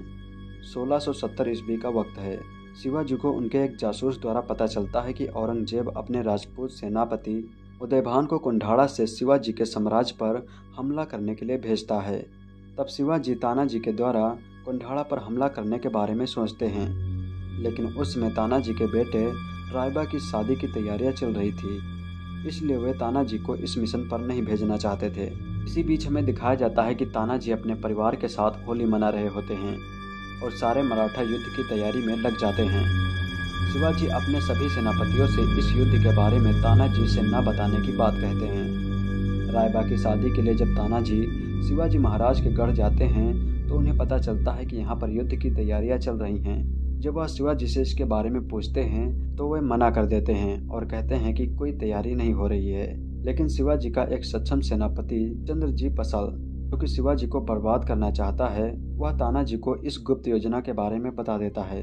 फिर तानाजी शिवाजी और उसकी माता जीजाबाई से ज़बरदस्ती अभियान में नेतृत्व करने की अनुमति ले लेता है और वह अपने बेटे रायबा की शादी टाल देता है। भान बुरहानपुर पहुँचता है। तब तानाजी इस पर विचार कर रहे होते हैं कि वो कुंडाड़ा पर किस रास्ते से आएगा। तानाजी एक योजना बनाते हैं, लेकिन एक धोखेबाज मराठा इसके बारे में मुगल सेनापति उदयभान को बता देता है। ये धोखेबाज मराठा वही होता है जिसने शिवाजी का गुप्त अभियान तानाजी को बताया था। यह काम शिवाजी के सेनापति पिसल के द्वारा किया जाता है। वह तानाजी को मारना चाहता है और फिर शिवाजी को बर्बाद करके अपना हाथ उदय भान से मिलाना चाहता है। उदय भान अपने राजपूत सेनापति जगत सिंह की बहन कमला देवी को भी कैद करके साथ ला रहा होता है। चूलिया जो कि पसल का भतीजा होता है, उदय भान को तानाजी के प्लान के बारे में बता देता है। फिर उदय भान धोखे से तानाजी की इस योजना को विफल कर देता है और इसमें तानाजी के द्वारा उनके ही मराठे मारे जाते हैं। इस पर तानाजी बहुत दुखी होते हैं। अब उदय भान कुंढाड़ा पहुँचता है और वहाँ पर एक मराठों को उसकी छोटी सी भूल के लिए मार देता है, जो कि उसके गढ़ की रखवाली कर रहा होता है। तब तानाजी उसी मराठा के शव को लेकर मराठों के गाँव पहुँचता है और उदयभान के खिलाफ लड़ने को कहता है, जिससे वह उन मराठाओं के साथ कुंडाड़ा पर शिवरात्रि समारोह में चला जाता है, जहाँ वह मराठों को धोखा देने वाले चुल्लिया को मार देता है। यह देखकर उदयभान तानाजी को कैद कर लेता है और उसे टॉर्चर करने लगता है। जगत सिंह अपनी बहन को बचाने के लिए तानाजी को कैद से भागने में मदद करता है। तब तानाजी उसकी बहन को शिवरात्रि के दिन छुड़ाने का वादा करता है। तानाजी चोर द्वार के द्वारा वहाँ से बाहर निकल जाते हैं और अपने घर उमरत पहुँच जाते हैं। और वहाँ अपने अगले युद्ध के बारे में बताते हैं। उधर तानाजी के बेटे के विवाह वाले भी विवाह के लिए परेशान कर रहे होते हैं। तानाजी अपनी पत्नी से वादा करता है कि वह इस युद्ध से ज़िंदा वापस आएगा। वो उसका दुल्हन बनकर स्वागत करेगी। उदयभान तानाजी के भागने की वजह से उन सभी सैनिकों को फांसी पर लटका देता है, जो कि उसकी सुरक्षा में तैनात थे। और उसी वक्त जगत सिंह एक संदेशा लेकर उदयभान के पास आता है। वह कहता है कि उसकी बहन कमला देवी उससे शादी करने के लिए मान गई है। इस पर सभी लोग शादी की तैयारियों में लग जाते हैं और उधर तानाजी किले पर हमला करने की तैयारी कर रहे होते हैं। वह पहाड़ी से चढ़कर मुगलों पर हमला शुरू कर देते हैं और सभी मुगल सैनिक को मारने लगते हैं। यह देखकर जगत सिंह कमला देवी को वहाँ से लेकर भाग जाता है। जब उदयभान को हमले के बारे में पता चलता है तो वह अपनी तोप, जिसका नाम नागिन होता है, उसे राजगढ़ पर निशाना लगाता है और तोप के पलीते में आग लगा देता है। यह देखकर तानाजी घोड़े पर चढ़कर अपनी तलवार से उस जलते हुए पलीते को काट देता है और तोप का हमला होने से रुक जाता है। लेकिन उसी वक्त उदयभान तानाजी का हाथ काट देता है, जिससे तानाजी बहुत जख्मी हो जाते हैं। तानाजी घायल होने के बावजूद अपने एक हाथ से लड़ते हुए उदयभान को मौत के घाट उतार देते हैं। और नागिन सहित उदयभान को किले से नीचे गिरा देते हैं और केसरिया झंडा कोंढाड़ा पर लहरा देते हैं। इसी बीच शिवाजी महाराज और उनकी सेना भी वहाँ पर पहुँच जाती है और वे जब तानाजी को देखते हैं तो वह रोने लगते हैं और उनके मुँह से निकल जाता है, गढ़ आला पड़सिंग गेला जिसका मतलब होता है कि गढ़ तो हमने जीत लिया, लेकिन अपना शेर खो दिया। इसके बाद शिवाजी खुद अपने हाथों से तानाजी के बेटे रायबा की शादी कराते हैं। इसके बाद तानाजी की पत्नी अपने कमरे में चली जाती हैं। और बंद दरवाजों के पीछे दुल्हन के रूप में सजकर तानाजी का इंतज़ार करने लगती हैं। औरंगज़ेब का दक्षिण भारत पर शासन करने का सपना सपना ही रह जाता है। अब आइए जानते हैं इस मूवी के कुछ फैक्ट्स के बारे में। अजय देवगन अपनी फ़िल्म सिवाय के बाद सरदार बैटल आप सारागढ़ी फ़िल्म बनाना चाहते थे जो कि 21 सिखों और 10,000 अफगानों के बीच सारागढ़ी पर आधारित थी। लेकिन अगले साल दिवाली पर केसरी फ़िल्म का ऐलान हुआ तब अजय देवगन ने फ़िल्म को न बनाने का फैसला किया। और इसे रद्द कर दिया। इसी बीच अजय देवगन ने निर्देशक ओम राउत के साथ तानाजी मालूसरे के जीवन पर फ़िल्म बनाने का फैसला किया, जिसका नाम रखा गया Tanaji the unsung warrior. Tanaji का पहला लुक 20 जुलाई 2017 को जारी किया गया था और प्री प्रोडक्शन का काम अगले दिन शुरू कर दिया गया था। फिर अजय देवगन ने 6-8 महीनों तक इस फ़िल्म के भारी बेफेक्स पर काम किया और फ़िल्म को 3D में बनाने की घोषणा की। 2 अगस्त 2018 में टी सीरीज़ के मालिक भूषण कुमार ने अजय देवगन की प्रोडक्शन कंपनी के साथ मिलकर इस फ़िल्म को बनाने की घोषणा की। फिर मार्च 2019 में फ़िल्म का नाम बदलकर तनहा जिदा अनसंग वॉरियर रख दिया गया। फिर इसमें काजोल और सैफ अली खान को सिलेक्ट किया गया। सैफ अली खान को उदय भान के लिए लिया गया था। इसके लिए सैफ अली खान ने तलवारबाजी और घुड़सवारी भी सीखी थी। इसके पहले अजय देवगन और सैफ अली खान एक साथ ओमकारा फ़िल्म में काम कर चुके थे, जो कि 2004 में आई थी। तानाजी को मुंबई की फ़िल्म सिटी में शूट किया गया था। संधन घाटी जैसा सेट बनाने के लिए 300 फीट लंबा सेट बनाया गया था। अब बात करते हैं इसके संगीत के बारे में। इस फ़िल्म का म्यूज़िक अजय अतुल, सचेत परंपरा, मेहुल ब्यास और प्रसन्नजीत को संबी द्वारा दिया गया था। इस फ़िल्म में कुल चार गाने थे, जिनके बोल हैं शंकरा रे शंकरा, माए भवानी घमंड कर तिनक तिनक, जिसे गाया था मेहुल ब्यास, सुखविंदर सिंह और श्रेया घोषाल, सचेत टंडन और परंपरा ठाकुर और हर्षदीप कौर ने। अब आइए बात करते हैं इसके बॉक्स ऑफ़िस के बारे में। तानाजी ने अपने शुरुआती दिन घरेलू बॉक्स ऑफ़िस पर 15 करोड़ रुपए कमाए थे। दूसरे दिन फ़िल्म ने साढ़े बीस करोड़ रुपए की कमाई की थी। तीसरे दिन फ़िल्म ने 26 करोड़ रुपए की कमाई की थी, जिससे कुल शुरुआती सप्ताहांक का संग्रह इकसठ करोड़ रुपए हो गया था। 18 मार्च 2020 के अनुसार फ़िल्म ने भारत में तीन सौ बावन करोड़ रुपए की कमाई की। तथा विदेशों में चौवन करोड़ रुपए कमाए। इस फ़िल्म ने दुनिया भर में 407 करोड़ रुपए कमाए थे और बॉक्स ऑफ़िस पर एक बड़ी सफल फ़िल्म साबित हुई थी। इस प्रकार 2020 की यह सबसे ज़्यादा कमाई करने वाली फ़िल्म बन गई थी। फ़िल्म को अठहत्तरवें गोल्डन ग्लोब अवार्ड्स में प्रदर्शित होने वाली सर्वश्रेष्ठ विदेशी फ़िल्म के रूप में चुना गया था। अब आइए जानते हैं इस फ़िल्म के रिव्यू के बारे में। ये फ़िल्म काफ़ी अच्छी थी। सारे क्रिटिक्स ने इस फ़िल्म की काफ़ी प्रशंसा की थी। खासकर प्रशंसा इसके बी को मिली थी। साथ ही अजय देवगन की एक्टिंग भी लाजवाब है। सैफ अली खान भी अपने रोल में जचते हैं, और वह भी अजय देवगन से कम नहीं लगते हैं। काजोल अपनी जगह पर ठीक ठाक रहीं, उन्हें ज़्यादातर सीन नहीं दिए गए। बाकी भी एक्टर्स का काम इसमें अच्छा है। अजय देवगन ने ताना जी की भूमिका बहुत ही अच्छे से निभाई है। अजय देवगन ने भी इस फ़िल्म का डायरेक्शन किया है। अजय देवगन वैसे भी एक मंजे हुए कलाकार हैं तो उनकी एक्टिंग पर कोई भी शक नहीं किया जा सकता। आपको यह फ़िल्म जरा भी बोर नहीं होने देती। पहला हाफ़ भी इसमें मज़बूत है और दूसरा हाफ़ भी। यह फ़िल्म वाकई में एक लाजवाब फ़िल्म है। आपको एक बार ज़रूर देखनी चाहिए। साथ ही और भी क्रिटिक्स ने इसके अच्छे रिव्यू दिए थे। Review aggregator website Rotten Tomatoes पर तानाजी की औसत समीक्षा 8.2 आउट ऑफ़ 10 की औसत रेटिंग के साथ 10 समीक्षाओं के आधार पर 70 परसेंट है। फ़िल्म कंपेनियन की अनुपमा चोपड़ा ने इतिहास के अमर चित्र, कथा कॉमिक से अलग इतिहास की एक अप्रकाशिक रिटेलिंग को उल्लेख किया, जिसने ऐतिहासिक चश्मे, राष्ट्रवाद और अतिपुरतत्व को मिश्रित किया। कहानी साउंड इफ़ेक्ट वेशभूषा और व्यक्तिगत प्रदर्शन की विशेष रूप से प्रशंसा की गई। राहुल देसाई ने इसे एक चालाक काम बताया, जो एक व्यापक भगवा करड़ द्वारा विवाहित था, जिसे भारत में राजनीतिक माहौल का फ़ायदा उठाने की कोशिश की गई। द हिंदुस्तान टाइम्स की समीक्षा में एक शानदार काम बताया गया। जिसमें असाधारण व्यक्तिगत प्रदर्शन, एक मनोरम कहानी और उत्कृष्ट वीडियो प्रभाव थे। द हिंदू की नम्रता जोशी ने कहा कि फ़िल्म अच्छी तरह से शुरू हुई है, बीच में लहरा रही है, लेकिन अंत में शानदार वापसी कर जाती है। एक कैथरीन और एंड्रालाइन भीड़ पहुँचती है। द मिंट के उदय भाटिया ने इसे एक मूर्खतापूर्ण कार्टून इतिहास बताया, जिसने प्रिंस ऑफ़ पोर्सिया से अपनी भौतिकी उधार ली थी, लेकिन फिर भी इसमें धारा प्रवाह, कार्रवाई और दिलचस्प व्यक्तिगत प्रदर्शन शामिल थे। रोमे पर पलोमी दास ने तनहा जी को एक मज़ेदार हाई पर नेशनलिस्टिक एक्शन थ्रिलर के रूप में नोट किया, जिसने एक यूनी आयामी संशोधनवादी, इतिहास और परिष्कृत इस्लामाफोबिया को शुद्ध किया। एनडीटीवी के सिब्बल चटर्जी ने इसे ऐतिहासिक रूप से अमानवीय कार्य बताया, जो कि एक भगवाकृत हिंदू मुस्लिम बाइनरी के चित्रण में किसी भी और सभी बारीकियों को स्त्री करता है।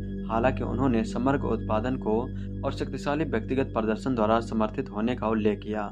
तानुल ठाकुर ने इसे एक ऐसी कृत के रूप में उल्लेख किया, जिसमें उत्कृष्ट सिनेमाटोग्राफी थी, लेकिन भारत के समग्र भगवकरण को पूरा करते हुए इसे अहंकारी धर्म राष्ट्रवादी प्रचार द्वारा इसे बहुत ही कम पसंद किया गया था। इंडियन एक्सप्रेस के ऊपर सुब्रा गुप्ता ने यह उल्लेख किया कि सरसरी भद्दी भद्दी गालियाँ पेश की गई थी, जिसमें मराठा शौर की अतिशयोक्तिपूर्ण दास्ता को एक हिंदू उत्साह के साथ चित्रित किया गया था। रेडिप के सुकन्या वर्मा ने कहा कि यह भगवा शोहरत की लड़ाई के साथ इतिहास की एक पौराणिक वापसी है। व्यक्तिगत प्रदर्शन और युद्ध के दृश्य की कोरियोग्राफी की प्रशंसा की गई। राजीव मसंद ने इसे एक संदिग्ध रूप से काल्पनिक काल्पनिक काम के रूप में उल्लेख किया, जिससे हाइपर नेशनलिस्टिक जलवायु की अपील की। लेकिन इसमें मज़बूत फिल्मोग्राफी, अंत के युद्ध के दृश्य और शानदार व्यक्तिगत प्रदर्शन थे। द क्विंट के स्टूटी घोष ने ऐतिहासिक सटीकता और समस्याग्रस्त उपग्रहों के साथ अपनी व्यापक स्वतंत्रता के बावजूद इसे मज़बूत व्यक्तिगत प्रदर्शन के साथ एक नेत्रहीन तेजस्वी फ़िल्म का उल्लेख किया। आज हम बात करेंगे तानाजी के बारे में। तानाजी जिनका पूरा नाम था तानाजी मालूसरे वह मराठा साम्राज्य के मराठा सेना में सूबेदार सरदार थे। वह छत्रपति शिवाजी महाराज के साथ मराठा साम्राज्य हिंदी स्वराज स्थापना के लिए सूबेदार के रूप में काम करते थे। सूबेदार, जिसे किलेदार भी कहा जाता था। तानाजी छत्रपति शिवाजी महाराज के बचपन के मित्र थे। वे बचपन में एक साथ खेले थे। तानाजी 1670 ईस्वी में सिंहगढ़ की लड़ाई में अपनी महत्वपूर्ण भूमिका के लिए जाने जाते हैं। इन्होंने कुंडाड़ा किला को वापस पाने के लिए अपनी जान तक गंवा दी थी। तानाजी ने कुंडाड़ा किला के लिए अपने बेटे की शादी तक को टाल दिया था और कहा कि पहले कंडाड़ा की शादी होगी और बाद में उनके बेटे रायबा की। उन दिनों सूबेदार ताना के बेटे रायबा के विवाह की तैयारियाँ चल रही थी। उसी वक्त तानाजी शिवाजी महाराज के घर अपने बेटे की शादी का आमंत्रण लेकर पहुँचे। तब उन्हें पता चला कि छत पर शिवाजी महाराज कुंडाड़ा पर चढ़ाई करने वाले हैं। तब तानाजी ने कहा कि मैं कुंडाड़ा जीत कर लाऊँगा। कुछ इतिहासकारों का मानना है कि एक दिन शिवाजी महाराज की माँ जीजाबाई अपने महल की खिड़की के सामने बैठी अपने बाल खींच रही थी। तभी उन्होंने कुंडाड़ा पर लहराता हुआ मुगल का झंडा देखा और वह काफ़ी दुखी हुई। इसी दौरान उन्होंने अपने बेटे शिवाजी महाराज को एक संदेशा भिजवाया और कहा कि जितनी जल्दी हो सके वो मुझसे आके मिले। जब संदेशा शिवाजी के पास पहुँचा तो वे कुछ ही देर में अपनी माँ के पास मिलने पहुँच गए और अपनी माँ जीजाबाई से पूछा कि, क्या बात है? तो उनकी माँ ने कुंडाड़ा किला को वापस पाने की बात कही। इस पर शिवाजी महाराज भी बहुत दुखी हुए। उन्होंने कहा कि कुंडाड़ा जीतना अब आसान नहीं है, क्योंकि वहाँ पर मुगलों द्वारा पाँच हज़ार सैनिक तैनात किए गए हैं और वहाँ की सुरक्षा बहुत कड़ी है। तब जीजाबाई ने शिवाजी महाराज से कुंडाड़ों को जीतने की जिद की। कुछ इतिहासकारों का मानना है कि जब जीजाबाई जी को छत्रपति साहू जी महाराज ने कुंडाड़ा किला जीतना नामुमकिन बताया तो वह अत्यधिक क्रोधित हो गई और कहा कि अगर कुंडाड़ा किला वापस नहीं लाए तो वह उनको श्राप दे देंगी और उनका सारा साम्राज्य नष्ट हो जाएगा। इस पर शिवाजी महाराज को अपने दोस्त तानाजी की याद आती है और वे तानाजी मालूसरे को संदेशा देकर बुलाते हैं। जब तानाजी शिवाजी के यहाँ पहुँचते हैं तो उनकी हिम्मत नहीं होती है कि वे तानाजी से कह सके कि कुंडाड़ा पर आक्रमण करो, क्योंकि कुंडाड़ा जीतना बहुत ही मुश्किल हो गया था। आज तक जितने भी लोगों को आक्रमण के लिए भेजा गया था, उनमें से कोई भी वापस नहीं आया था। शिवाजी महाराज ने तानाजी से कहा कि आपको मेरी माँ ने बुलाया है। वे यह सुनकर काफ़ी खुश हुए और तुरंत माँ जीजाबाई के पास पहुँचे। तब जीजाबाई ने इन्हें कुंडाड़ा को वापस लाने की बात कही।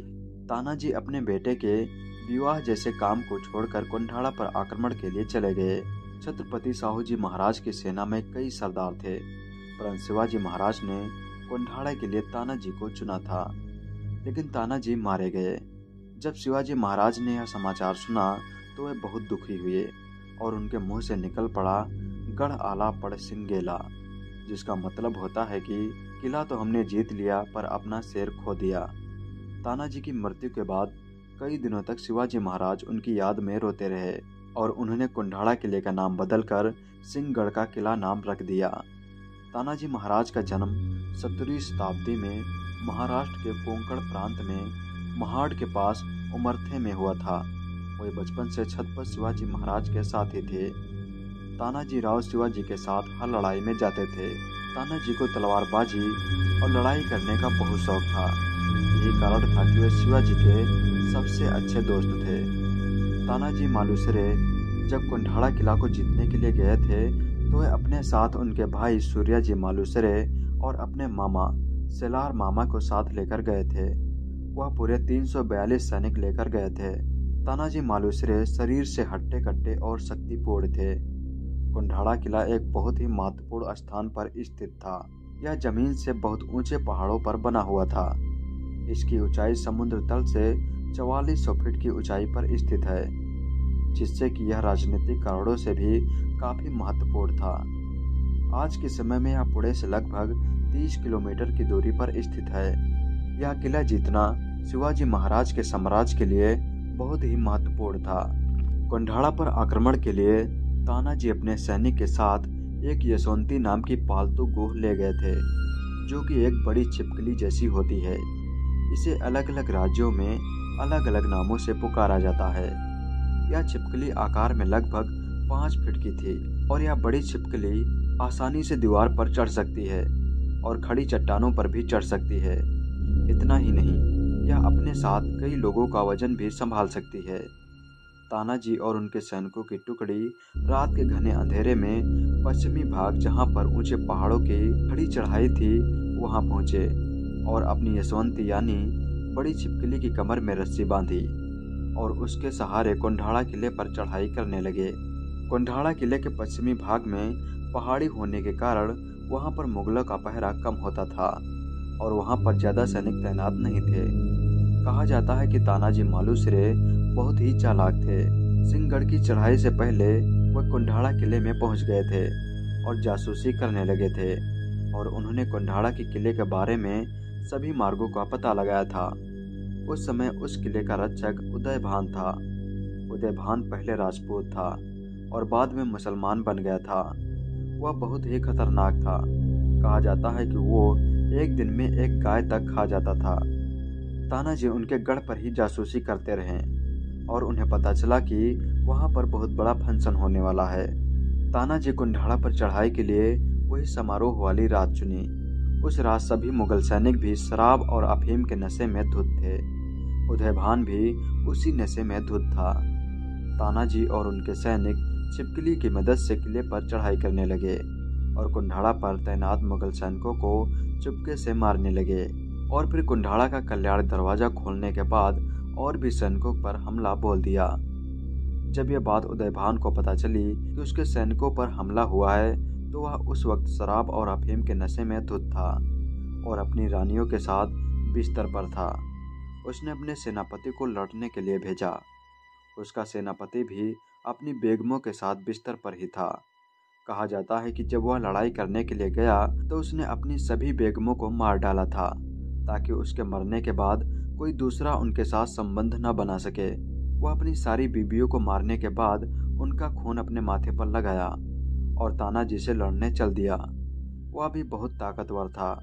वह भी हर दिन कई किलो गाय का मांस खा जाता था। तानाजी ने उसके सर से लेकर उसके नाभि तक उसके दो हिस्सों में अपनी तलवार से बीच से चीर दिया। यह जानने के बाद भी उदयभान लड़ाई करने के लिए बाहर नहीं आया। और उसने अपने बारह पुत्रों को लड़ने के लिए भेजा। लेकिन तानाजी ने उसके बारह पुत्रों को चौबीस टुकड़ों में काट दिया। यह सुनकर उदयपान बहुत ही गुस्से में हो गया और वह अपने हाथी को बहुत सारी अफीम मिलाकर तानाजी के पीछे छोड़ दिया। कहा जाता है कि उदयबान का यह हाथी बहुत ही क्रूर था और यह पहले भी कई लोगों की जान ले चुका था।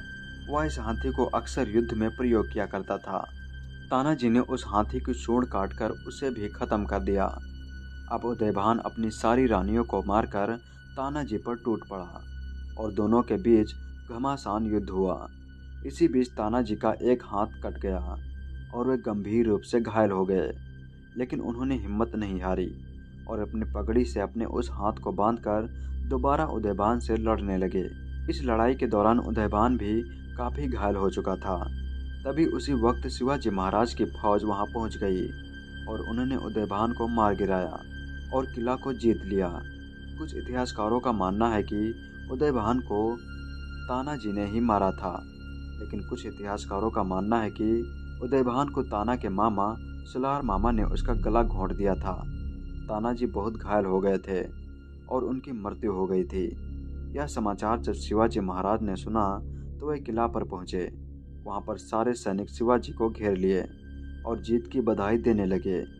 परंतु शिवाजी ने सबको शांत किया और जश्न मनाने से रोक दिया। उन्होंने कहा, किला तो जीत लिया, पर मैंने अपना शेर खो दिया।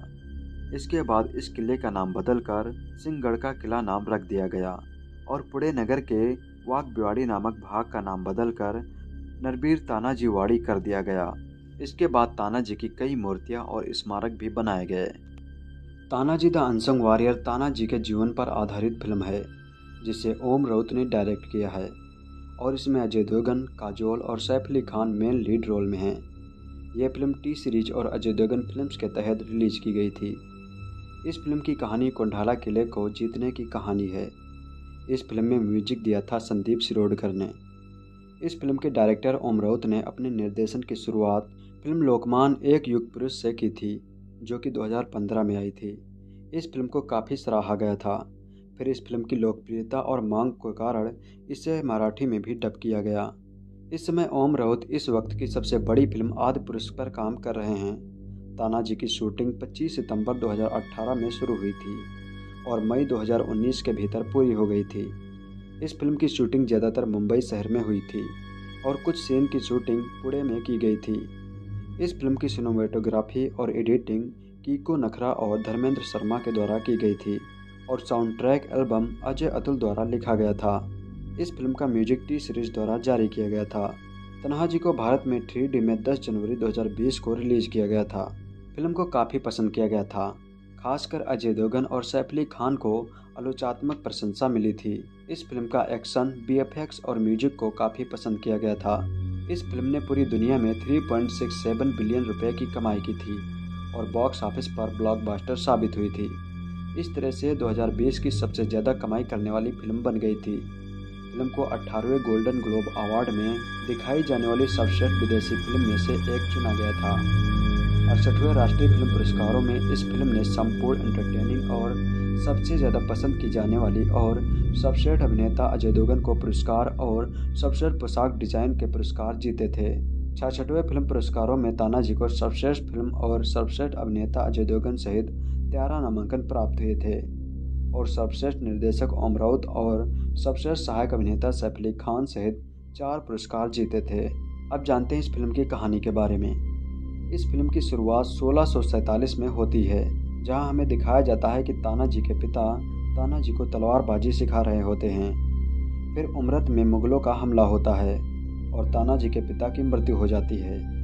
ताना जी के पिता उन्हें वसीहत में कर्ज देने की बात कहते हैं। फिर अगले सीन में सत्रह साल बीत चुके हैं और वक्त है सोलह का। अब ताना जी बड़े हो चुके हैं और अब ताना जी छत्रपति शिवाजी महाराज की मराठा सेना के प्रमुख सूबेदार बन जाते हैं। और मराठा सेना में घुसपैठ करने वाली मुगल सेना पर हमला करते हैं और सभी को मार देते हैं। अब सोलह में मुगल सम्राट औरंगज़ेब अपने सबसे भरोसेमंद जनरलों में से एक अंबर के राजा जयसिंह को शिवाजी को पकड़ने के लिए भेजते हैं, जो कि दक्कन के पठार में उसके हो रहे विस्तार में रिकॉर्ड पैदा कर रहे हैं। फिर कुरंदर की लड़ाई में शिवाजी को अपने तेईस किलो के साथ कब्जा कर लिया जाता है और शिवाजी को बंदी बना लिया जाता है। बाद में मुगल सेनापति बेसक खान, शिवाजी महाराज की माँ जीजाबाई का अपमान करते हुए शिवाजी का महत्वपूर्ण किला कुंढाणा पर कब्जा करने का आदेश देता है। शिवाजी की माँ वहाँ से नंगे पैर ही चली जाती हैं और जब कुंढाड़ा उनके पास वापस ना आ जाए, तब तक जूते न पहनने का वचन देती हैं। इस बारे में तानाजी को भी बताया जाता है। अब पाँच साल बीत चुके हैं। 1670 ईस्वी का वक्त है। शिवाजी को उनके एक जासूस द्वारा पता चलता है कि औरंगज़ेब अपने राजपूत सेनापति उदयभान को कुंढाड़ा से शिवाजी के साम्राज्य पर हमला करने के लिए भेजता है। तब शिवाजी तानाजी के द्वारा कुंढाड़ा पर हमला करने के बारे में सोचते हैं। लेकिन उसमें तानाजी के बेटे रायबा की शादी की तैयारियाँ चल रही थी, इसलिए वे तानाजी को इस मिशन पर नहीं भेजना चाहते थे। इसी बीच हमें दिखाया जाता है कि तानाजी अपने परिवार के साथ होली मना रहे होते हैं। और सारे मराठा युद्ध की तैयारी में लग जाते हैं। शिवाजी अपने सभी सेनापतियों से इस युद्ध के बारे में तानाजी से न बताने की बात कहते हैं। रायबा की शादी के लिए जब तानाजी, शिवाजी महाराज के गढ़ जाते हैं तो उन्हें पता चलता है कि यहाँ पर युद्ध की तैयारियाँ चल रही हैं। जब वह शिवाजी से इसके बारे में पूछते हैं तो वे मना कर देते हैं और कहते हैं कि कोई तैयारी नहीं हो रही है। लेकिन शिवाजी का एक सक्षम सेनापति चंद्रजी पसल जो कि शिवाजी को बर्बाद करना चाहता है, वह तानाजी को इस गुप्त योजना के बारे में बता देता है। फिर तानाजी शिवाजी और उसकी माता जीजाबाई से ज़बरदस्ती अभियान में नेतृत्व करने की अनुमति ले लेता है और वह अपने बेटे रायबा की शादी टाल देता है। भान बुरहानपुर पहुँचता है। तब तानाजी इस पर विचार कर रहे होते हैं कि वो कुंडाड़ा पर किस रास्ते से आएगा। तानाजी एक योजना बनाते हैं, लेकिन एक धोखेबाज मराठा इसके बारे में मुगल सेनापति उदयभान को बता देता है। ये धोखेबाज मराठा वही होता है जिसने शिवाजी का गुप्त अभियान तानाजी को बताया था। यह काम शिवाजी के सेनापति पिसल के द्वारा किया जाता है। वह तानाजी को मारना चाहता है और फिर शिवाजी को बर्बाद करके अपना हाथ उदय भान से मिलाना चाहता है। उदय भान अपने राजपूत सेनापति जगत सिंह की बहन कमला देवी को भी कैद करके साथ ला रहा होता है। चूलिया जो कि पसल का भतीजा होता है, उदय भान को तानाजी के प्लान के बारे में बता देता है। फिर उदयभान धोखे से तानाजी की इस योजना को विफल कर देता है और इसमें तानाजी के द्वारा उनके ही मराठे मारे जाते हैं। इस पर तानाजी बहुत दुखी होते हैं। अब उदयभान कुंढाड़ा पहुँचता है और वहाँ पर एक मराठों को उसकी छोटी सी भूल के लिए मार देता है, जो कि उसके गढ़ की रखवाली कर रहा होता है। तब तानाजी उसी मराठा के शव को लेकर मराठों के गाँव पहुँचता है और उदयभान के खिलाफ लड़ने को कहता है, जिससे वह उन मराठाओं के साथ कुंढाड़ा पर शिवरात्रि समारोह में चला जाता है, जहाँ वह मराठों को धोखा देने वाले चुल्लिया को मार देता है। यह देखकर उदयभान तानाजी को कैद कर लेता है और उसे टॉर्चर करने लगता है। जगत सिंह अपनी बहन को बचाने के लिए तानाजी को कैद से भागने में मदद करता है। तब तानाजी उसकी बहन को शिवरात्रि के दिन छुड़ाने का वादा करता है। तानाजी चोर द्वार के द्वारा वहाँ से बाहर निकल जाते हैं और अपने घर उमरत पहुँच जाते हैं। और वहाँ अपने अगले युद्ध के बारे में बताते हैं। उधर तानाजी के बेटे के विवाह वाले भी विवाह के लिए परेशान कर रहे होते हैं। तानाजी अपनी पत्नी से वादा करता है कि वह इस युद्ध से ज़िंदा वापस आएगा। वो उसका दुल्हन बनकर स्वागत करेगी। उदयभान तानाजी के भागने की वजह से उन सभी सैनिकों को फांसी पर लटका देता है, जो कि उसकी सुरक्षा में तैनात थे। और उसी वक्त जगत सिंह एक संदेशा लेकर उदयभान के पास आता है। वह कहता है कि उसकी बहन कमला देवी उससे शादी करने के लिए मान गई है। इस पर सभी लोग शादी की तैयारियों में लग जाते हैं और उधर तानाजी किले पर हमला करने की तैयारी कर रहे होते हैं। वह पहाड़ी से चढ़कर मुगलों पर हमला शुरू कर देते हैं और सभी मुगल सैनिक को मारने लगते हैं। यह देखकर जगत सिंह कमला देवी को वहाँ से लेकर भाग जाता है। जब उदयभान को हमले के बारे में पता चलता है तो वह अपनी तोप, जिसका नाम नागिन होता है, उसे राजगढ़ पर निशाना लगाता है और तोप के पलीते में आग लगा देता है। यह देखकर तानाजी घोड़े पर चढ़कर अपनी तलवार से उस जलते हुए पलीते को काट देता है और तोप का हमला होने से रुक जाता है। लेकिन उसी वक्त उदयभान तानाजी का हाथ काट देता है, जिससे तानाजी बहुत जख्मी हो जाते हैं। तानाजी घायल होने के बावजूद अपने एक हाथ से लड़ते हुए उदयभान को मौत के घाट उतार देते हैं। और नागिन सहित उदयभान को किले से नीचे गिरा देते हैं और केसरिया झंडा कुंडाड़ा पर लहरा देते हैं। इसी बीच शिवाजी महाराज और उनकी सेना भी वहाँ पर पहुँच जाती है और वे जब तानाजी को देखते हैं तो वह रोने लगते हैं और उनके मुँह से निकल जाता है, गढ़ आला पड़सिंग गेला जिसका मतलब होता है कि गढ़ तो हमने जीत लिया, लेकिन अपना शेर खो दिया। इसके बाद शिवाजी खुद अपने हाथों से तानाजी के बेटे रायबा की शादी कराते हैं। इसके बाद तानाजी की पत्नी अपने कमरे में चली जाती हैं। और बंद दरवाजों के पीछे दुल्हन के रूप में सजकर तानाजी का इंतज़ार करने लगती हैं। औरंगज़ेब का दक्षिण भारत पर शासन करने का सपना सपना ही रह जाता है। अब आइए जानते हैं इस मूवी के कुछ फैक्ट्स के बारे में। अजय देवगन अपनी फ़िल्म सिवाय के बाद सरदार बैटल आप सारागढ़ी फ़िल्म बनाना चाहते थे जो कि 21 सिखों और 10,000 अफगानों के बीच सारागढ़ी पर आधारित थी। लेकिन अगले साल दिवाली पर केसरी फ़िल्म का ऐलान हुआ तब अजय देवगन ने फ़िल्म को न बनाने का फैसला किया। और इसे रद्द कर दिया। इसी बीच अजय देवगन ने निर्देशक ओम राउत के साथ तानाजी मालूसरे के जीवन पर फ़िल्म बनाने का फैसला किया, जिसका नाम रखा गया Tanaji the unsung warrior. Tanaji का पहला लुक 20 जुलाई 2017 को जारी किया गया था और प्री प्रोडक्शन का काम अगले दिन शुरू कर दिया गया था। फिर अजय देवगन ने 6-8 महीनों तक इस फ़िल्म के भारी बेफेक्स पर काम किया और फ़िल्म को 3D में बनाने की घोषणा की। 2 अगस्त 2018 में टी सीरीज़ के मालिक भूषण कुमार ने अजय देवगन की प्रोडक्शन कंपनी के साथ मिलकर इस फ़िल्म को बनाने की घोषणा की। फिर मार्च 2019 में फ़िल्म का नाम बदलकर तनहा जिदा अनसंग वॉरियर रख दिया गया। फिर इसमें काजोल और सैफ अली खान को सिलेक्ट किया गया। सैफ अली खान को उदय भान के लिए लिया गया था। इसके लिए सैफ अली खान ने तलवारबाजी और घुड़सवारी भी सीखी थी। इसके पहले अजय देवगन और सैफ अली खान एक साथ ओमकारा फ़िल्म में काम कर चुके थे, जो कि 2004 में आई थी। तानाजी को मुंबई की फ़िल्म सिटी में शूट किया गया था। संधन घाटी जैसा सेट बनाने के लिए 300 फीट लंबा सेट बनाया गया था। अब बात करते हैं इसके संगीत के बारे में। इस फ़िल्म का म्यूज़िक अजय अतुल, सचेत परंपरा, मेहुल व्यास और प्रसन्नजीत कोसम्बी द्वारा दिया गया था। इस फ़िल्म में कुल चार गाने थे, जिनके बोल हैं शंकरा रे शंकरा, माए भवानी घमंड कर तिनक तिनक, जिसे गाया था मेहुल ब्यास, सुखविंदर सिंह और श्रेया घोषाल, सचेत टंडन और परंपरा ठाकुर और हर्षदीप कौर ने। अब आइए बात करते हैं इसके बॉक्स ऑफ़िस के बारे में। तानाजी ने अपने शुरुआती दिन घरेलू बॉक्स ऑफ़िस पर 15 करोड़ रुपए कमाए थे। दूसरे दिन फ़िल्म ने साढ़े बीस करोड़ रुपए की कमाई की थी। तीसरे दिन फ़िल्म ने 26 करोड़ रुपए की कमाई की थी, जिससे कुल शुरुआती सप्ताहांक का संग्रह इकसठ करोड़ रुपए हो गया था। 18 मार्च 2020 के अनुसार फ़िल्म ने भारत में तीन सौ बावन करोड़ रुपए की कमाई की। तथा विदेशों में चौवन करोड़ रुपए कमाए। इस फ़िल्म ने दुनिया भर में 407 करोड़ रुपए कमाए थे और बॉक्स ऑफ़िस पर एक बड़ी सफल फ़िल्म साबित हुई थी। इस प्रकार 2020 की यह सबसे ज़्यादा कमाई करने वाली फ़िल्म बन गई थी। फ़िल्म को अठहत्तरवें गोल्डन ग्लोब अवार्ड्स में प्रदर्शित होने वाली सर्वश्रेष्ठ विदेशी फ़िल्म के रूप में चुना गया था। अब आइए जानते हैं इस फ़िल्म के रिव्यू के बारे में। ये फ़िल्म काफ़ी अच्छी थी। सारे क्रिटिक्स ने इस फ़िल्म की काफ़ी प्रशंसा की थी। खासकर प्रशंसा इसके बेफेक्स को मिली थी। साथ ही अजय देवगन की एक्टिंग भी लाजवाब है। सैफ अली खान भी अपने रोल में जचते हैं, और वह भी अजय देवगन से कम नहीं लगते हैं। काजोल अपनी जगह पर ठीक ठाक रहीं, उन्हें ज़्यादातर सीन नहीं दिए गए। बाकी भी एक्टर्स का काम इसमें अच्छा है। अजय देवगन ने ताना जी की भूमिका बहुत ही अच्छे से निभाई है। अजय देवगन ने भी इस फ़िल्म का डायरेक्शन किया है। अजय देवगन वैसे भी एक मंझे हुए कलाकार हैं तो उनकी एक्टिंग पर कोई भी शक नहीं किया जा सकता। आपको यह फ़िल्म जरा भी बोर नहीं होने देती। पहला हाफ़ भी इसमें मज़बूत है और दूसरा हाफ़ भी। यह फ़िल्म वाकई में एक लाजवाब फ़िल्म है। आपको एक बार ज़रूर देखनी चाहिए। साथ ही और भी क्रिटिक्स ने इसके अच्छे रिव्यू दिए थे। Review aggregator website Rotten Tomatoes पर तानाजी की औसत समीक्षा 8.2 आउट ऑफ़ 10 की औसत रेटिंग के साथ 10 समीक्षाओं के आधार पर 70 परसेंट है।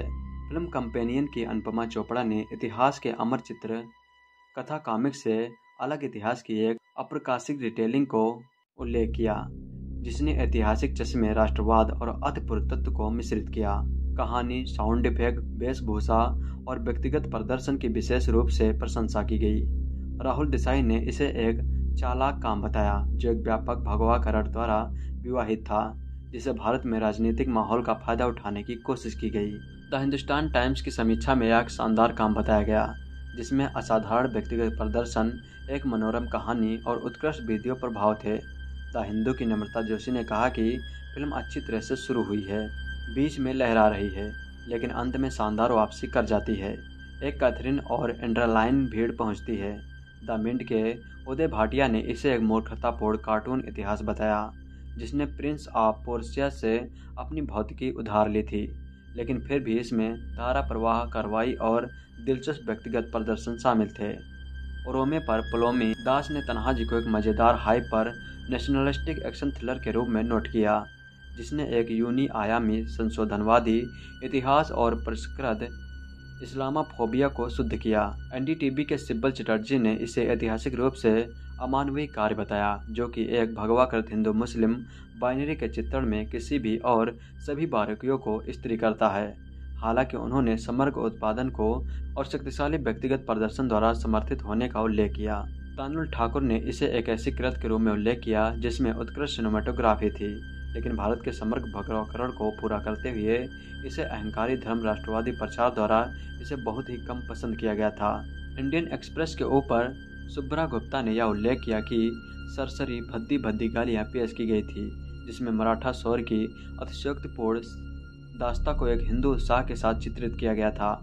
रेडिप की सुकन्या वर्मा ने कहा कि यह भगवा शोहरत की लड़ाई के साथ इतिहास की एक पौराणिक वापसी है। व्यक्तिगत प्रदर्शन और युद्ध के दृश्य की कोरियोग्राफी की प्रशंसा की गई। राजीव मसंद ने इसे एक संदिग्ध रूप से काल्पनिक काल्पनिक काम के रूप में उल्लेख किया, जिससे हाइपर नेशनलिस्टिक जलवायु की अपील की। लेकिन इसमें मज़बूत फिल्मोग्राफी, अंत के युद्ध के दृश्य और शानदार व्यक्तिगत प्रदर्शन थे। द क्विंट के स्टूटी घोष ने ऐतिहासिक सटीकता और समस्याग्रस्त उपग्रहों के साथ अपनी व्यापक स्वतंत्रता के बावजूद इसे मज़बूत व्यक्तिगत प्रदर्शन के साथ एक नेत्रहीन तेजस्वी फ़िल्म का उल्लेख किया। आज हम बात करेंगे तानाजी के बारे में। तानाजी जिनका पूरा नाम था तानाजी मालूसरे, वह मराठा साम्राज्य के मराठा सेना में सूबेदार सरदार थे। वह छत्रपति शिवाजी महाराज के साथ मराठा साम्राज्य हिंदी स्वराज्य स्थापना के लिए सूबेदार के रूप में काम करते थे। सूबेदार, जिसे किलेदार भी कहा जाता था। तानाजी छत्रपति शिवाजी महाराज के बचपन के मित्र थे। वे बचपन में एक साथ खेले थे। तानाजी 1670 ईस्वी में सिंहगढ़ की लड़ाई में अपनी महत्वपूर्ण भूमिका के लिए जाने जाते हैं। इन्होंने कुंडाड़ा किला को वापस पाने के लिए अपनी जान तक गंवा दी थी। तानाजी ने कुंडाड़ा किला के लिए अपने बेटे की शादी तक को टाल दिया था और कहा कि पहले कुंडाड़ा की शादी होगी और बाद में उनके बेटे रायबा की। उन दिनों सूबेदार ताना के बेटे रायबा के विवाह की तैयारियाँ चल रही थी। उसी वक्त तानाजी शिवाजी महाराज के घर अपने बेटे की शादी का आमंत्रण लेकर पहुँचे। तब उन्हें पता चला कि छत पर शिवाजी महाराज कुंडाड़ा पर चढ़ाई करने वाले हैं। तब तानाजी ने कहा कि मैं कुंडाड़ा जीत कर लाऊँगा।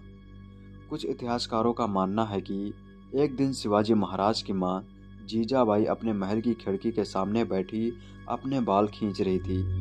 तभी उन्होंने कुंडाड़ा पर लहराता हुआ मुगल का झंडा देखा और वह काफ़ी दुखी हुई। इसी दौरान उन्होंने अपने बेटे शिवाजी महाराज को एक संदेशा भिजवाया और कहा कि जितनी जल्दी हो सके वो मुझसे आके मिले। जब संदेशा शिवाजी के पास पहुँचा तो वे कुछ ही देर में अपनी माँ के पास मिलने पहुँच गए और अपनी माँ जीजाबाई से पूछा कि, क्या बात है? तो उनकी माँ ने कुंडाड़ा किला को वापस पाने की बात कही। इस पर शिवाजी महाराज भी बहुत दुखी हुए। उन्होंने कहा कि कुंडाड़ा जीतना अब आसान नहीं है, क्योंकि वहाँ पर मुगलों द्वारा पाँच हज़ार सैनिक तैनात किए गए हैं और वहाँ की सुरक्षा बहुत कड़ी है। तब जीजाबाई ने शिवाजी महाराज से कुंडाड़ों को जीतने की जिद की। कुछ इतिहासकारों का मानना है कि जब जीजाबाई जी को छत्रपति साहू जी महाराज ने कुंडाड़ा किला जीतना नामुमकिन बताया तो वे अत्यधिक क्रोधित हो गई और कहा कि अगर कुंडाड़ा किला वापस नहीं लाए तो वह उनको श्राप दे देंगी और उनका सारा साम्राज्य नष्ट हो जाएगा। इस पर शिवाजी महाराज को अपने दोस्त तानाजी की याद आती है और वह तानाजी मालूसरे को संदेशा देकर बुलाते हैं। जब तानाजी शिवाजी के यहाँ पहुँचते हैं तो उनकी हिम्मत नहीं होती है कि वे तानाजी से कह सके कि कुंडाड़ा पर आक्रमण करो, क्योंकि कुंडाड़ा जीतना बहुत ही मुश्किल हो गया था। आज तक जितने भी लोगों को आक्रमण के लिए भेजा गया था, उनमें से कोई भी वापस नहीं आया था। शिवाजी महाराज ने तानाजी से कहा कि, आपको मेरी माँ ने बुलाया है। वे सुनकर काफ़ी खुश हुए। और तुरंत माँ जीजाबाई के पास पहुँचे। तब जीजाबाई ने इन्हें कुंडाड़ा को वापस लाने की बात कही। तानाजी अपने बेटे के विवाह जैसे काम को छोड़कर कुंडाड़ा पर आक्रमण के लिए चले गए। छत्रपति साहू जी महाराज की सेना में कई सरदार थे, परंतु शिवाजी महाराज ने कुंडाड़ा के लिए तानाजी को चुना था। लेकिन तानाजी मारे गए। जब शिवाजी महाराज ने यह समाचार सुना तो वह बहुत दुखी हुए और उनके मुँह से निकल पड़ा गढ़ आला पड़ सिंगेला, जिसका मतलब होता है कि किला तो हमने जीत लिया, पर अपना शेर खो दिया।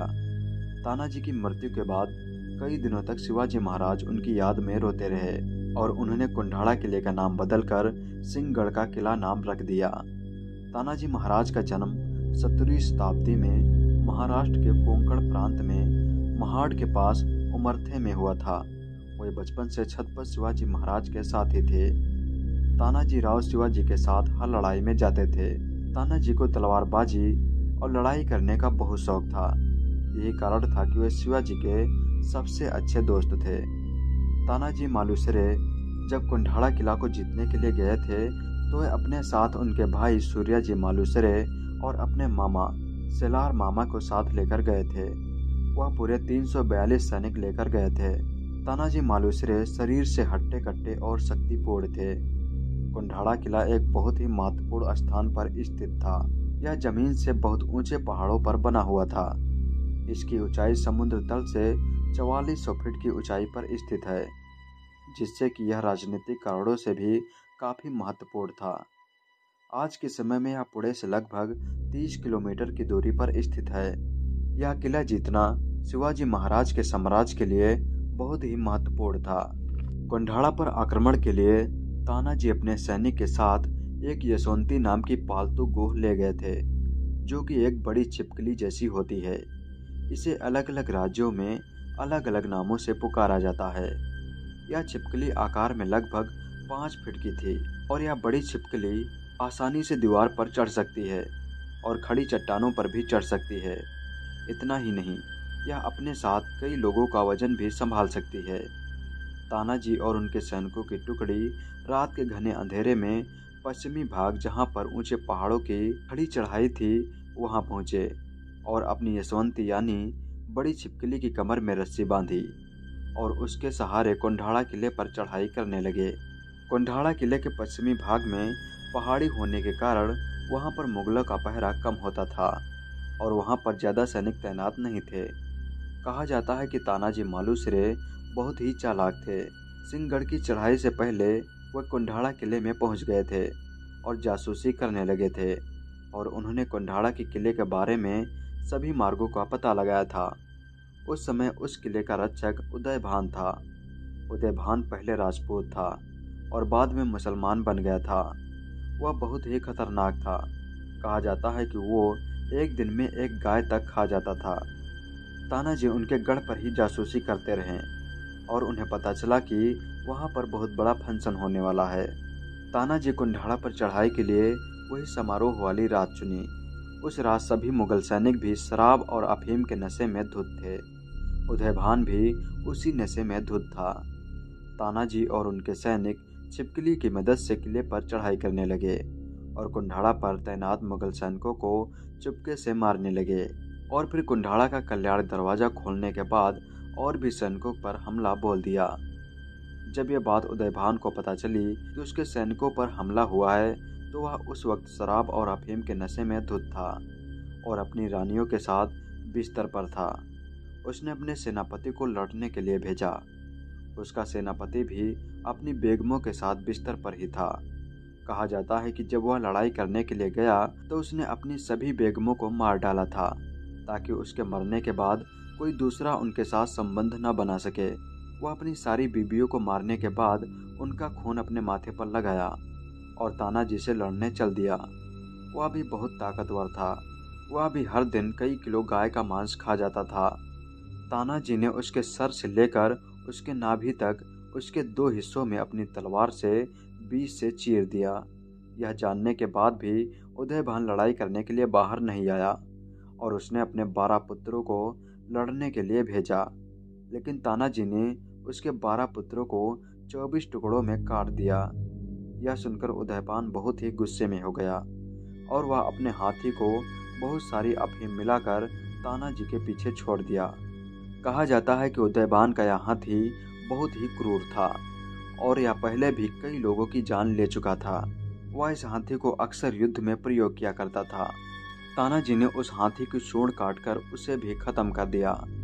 अब उदयभान अपनी सारी रानियों को मारकर तानाजी पर टूट पड़ा और दोनों के बीच घमासान युद्ध हुआ।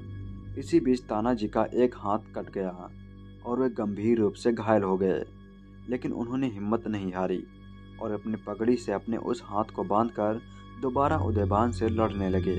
इस लड़ाई के दौरान उदयबान भी काफ़ी घायल हो चुका था।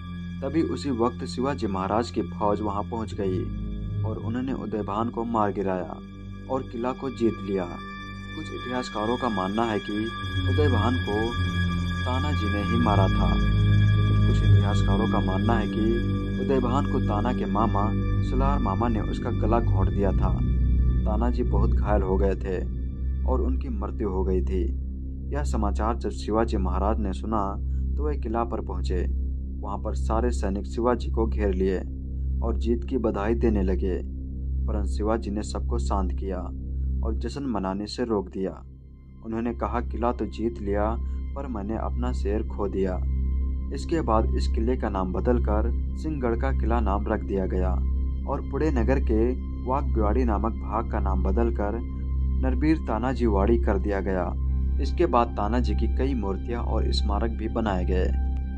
Tanaji the unsung warrior Tanaji के जीवन पर आधारित फ़िल्म है, जिसे ओम राउत ने डायरेक्ट किया है, और इसमें अजय देवगन, काजोल और Saif Ali Khan main lead role में हैं। यह फ़िल्म टी सीरीज़ और अजय देवगन फिल्म्स के तहत रिलीज़ की गई थी। इस फ़िल्म की कहानी कोंडाला किले को जीतने की कहानी है। इस फ़िल्म में म्यूज़िक दिया था संदीप सिरोडकर ने। इस फ़िल्म के डायरेक्टर ओम राउत ने अपने निर्देशन की शुरुआत फ़िल्म लोकमान एक युग पुरुष से की थी। जो कि 2015 में आई थी। इस फ़िल्म को काफ़ी सराहा गया था। फिर इस फ़िल्म की लोकप्रियता और मांग के कारण इसे मराठी में भी डब किया गया। इस समय ओम राउत इस वक्त की सबसे बड़ी फ़िल्म आदि पुरुष पर काम कर रहे हैं। तानाजी की शूटिंग 25 सितंबर 2018 में शुरू हुई थी और मई 2019 के भीतर पूरी हो गई थी। इस फ़िल्म की शूटिंग ज़्यादातर मुंबई शहर में हुई थी और कुछ सीन की शूटिंग पुणे में की गई थी। इस फ़िल्म की सिनेमाटोग्राफी और एडिटिंग कीको नखरा और धर्मेंद्र शर्मा के द्वारा की गई थी, और sound track album Ajay Atul द्वारा लिखा गया था। इस फ़िल्म का म्यूज़िक टी सीरीज़ द्वारा जारी किया गया था। तनहाजी को भारत में थ्री डी में 10 जनवरी 2020 को रिलीज़ किया गया था। फ़िल्म को काफ़ी पसंद किया गया था, खासकर अजय देवगन और सैफ अली खान को आलोचनात्मक प्रशंसा मिली थी। इस फ़िल्म का एक्शन बीएफएक्स और म्यूज़िक को काफ़ी पसंद किया गया था। इस फ़िल्म ने पूरी दुनिया में 3.67 बिलियन रुपए की कमाई की थी और बॉक्स ऑफ़िस पर ब्लॉकबस्टर साबित हुई थी। इस तरह से 2020 की सबसे ज़्यादा कमाई करने वाली फ़िल्म बन गई थी। फ़िल्म को 18वें गोल्डन ग्लोब अवार्ड में दिखाई जाने वाली सर्वश्रेष्ठ विदेशी फ़िल्म में से एक चुना गया था। अड़सठवें राष्ट्रीय फ़िल्म पुरस्कारों में इस फ़िल्म ने संपूर्ण एंटरटेनिंग और सबसे ज़्यादा पसंद की जाने वाली और सर्वश्रेष्ठ अभिनेता अजय देवगन को पुरस्कार और सर्वश्रेष्ठ पोशाक डिज़ाइन के पुरस्कार जीते थे। छठवें फ़िल्म पुरस्कारों में तानाजी को सर्वश्रेष्ठ फ़िल्म और सर्वश्रेष्ठ अभिनेता अजय देवगन सहित तेरह नामांकन प्राप्त हुए थे। और सर्वश्रेष्ठ निर्देशक ओम राउत और सर्वश्रेष्ठ सहायक अभिनेता सैफ अली खान सहित चार पुरस्कार जीते थे। अब जानते हैं इस फ़िल्म की कहानी के बारे में। इस फ़िल्म की शुरुआत सोलह में होती है। जहाँ हमें दिखाया जाता है कि तानाजी के पिता तानाजी को तलवारबाजी सिखा रहे होते हैं। फिर उमरत में मुगलों का हमला होता है और तानाजी के पिता की मृत्यु हो जाती है। तानाजी के पिता उन्हें वसीहत में कर्ज देने की बात कहते हैं। फिर अगले सीन में सत्रह साल बीत चुके हैं और वक्त है सोलह का। अब तानाजी बड़े हो चुके हैं और अब तानाजी छत्रपति शिवाजी महाराज की मराठा सेना के प्रमुख सूबेदार बन जाते हैं। और मराठा सेना में घुसपैठ करने वाली मुगल सेना पर हमला करते हैं और सभी को मार देते हैं। अब सोलह में मुगल सम्राट औरंगज़ेब अपने सबसे भरोसेमंद जनरलों में से एक अंबर के राजा जयसिंह को शिवाजी को पकड़ने के लिए भेजते हैं, जो कि दक्कन के पठार में उसके हो रहे विस्तार में रिकॉर्ड पैदा कर रहे हैं। फिर कुरंदर की लड़ाई में शिवाजी को अपने तेईस किलो के साथ कब्जा कर लिया जाता है और शिवाजी को बंदी बना लिया जाता है। बाद में मुगल सेनापति बेसक खान, शिवाजी महाराज की माँ जीजाबाई का अपमान करते हुए शिवाजी का महत्वपूर्ण किला कुंढाणा पर कब्जा करने का आदेश देता है।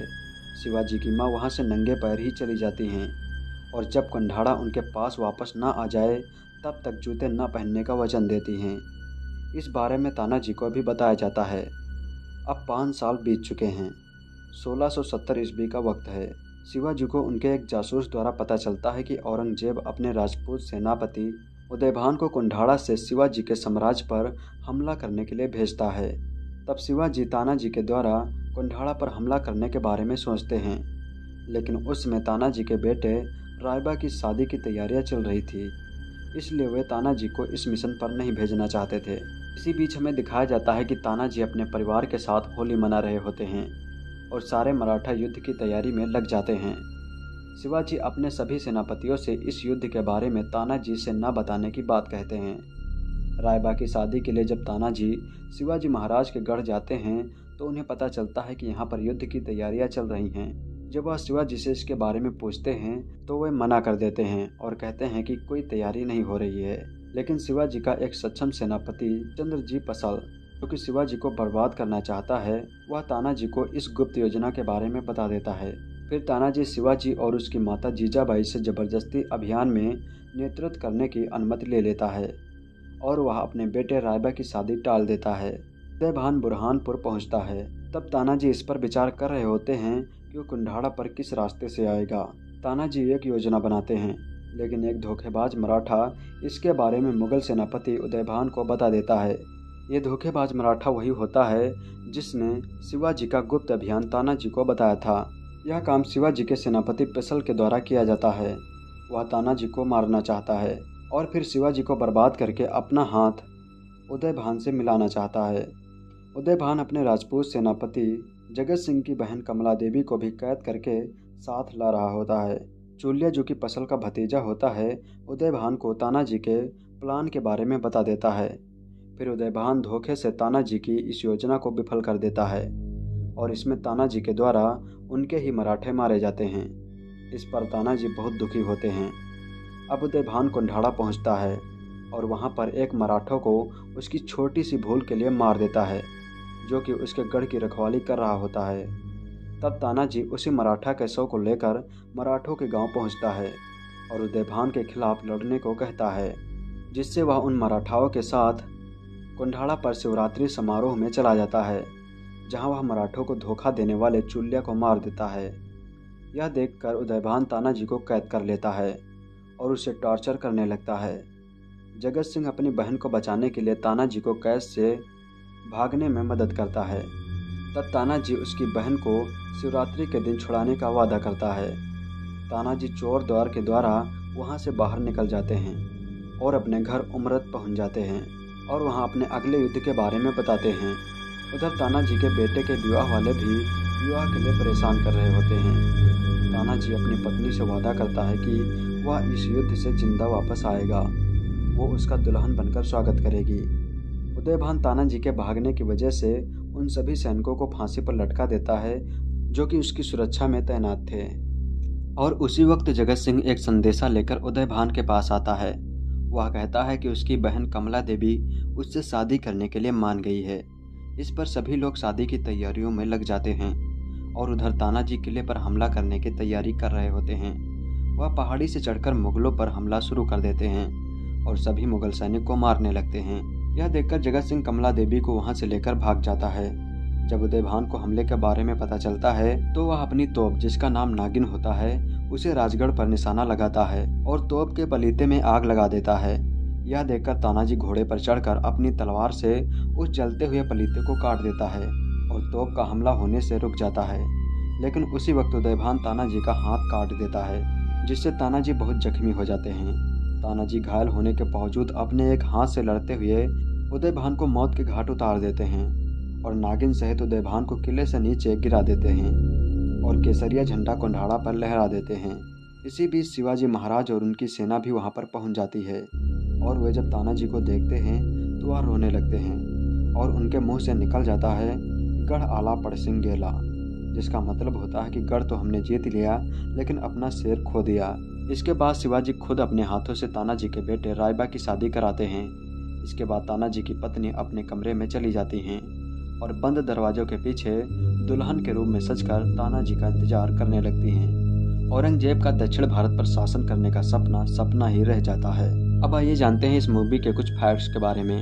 अजय देवगन अपनी फ़िल्म सिवाय के बाद Sardar battle of Saragarhi film बनाना चाहते थे जो कि 21 सिखों और 10,000 अफगानों के बीच सारागढ़ी पर आधारित थी। लेकिन अगले साल दिवाली पर केसरी फ़िल्म का ऐलान हुआ। तब अजय देवगन ने फ़िल्म को न बनाने का फैसला किया। और इसे रद्द कर दिया। इसी बीच अजय देवगन ने निर्देशक ओम राउत के साथ तानाजी मालूसरे के जीवन पर फ़िल्म बनाने का फैसला किया, जिसका नाम रखा गया Tanaji the unsung warrior. Tanaji का पहला लुक 20 जुलाई 2017 को जारी किया गया था और प्री प्रोडक्शन का काम अगले दिन शुरू कर दिया गया था। फिर अजय देवगन ने 6-8 महीनों तक इस फ़िल्म के भारी बेफेक्स पर काम किया और फ़िल्म को 3D में बनाने की घोषणा की।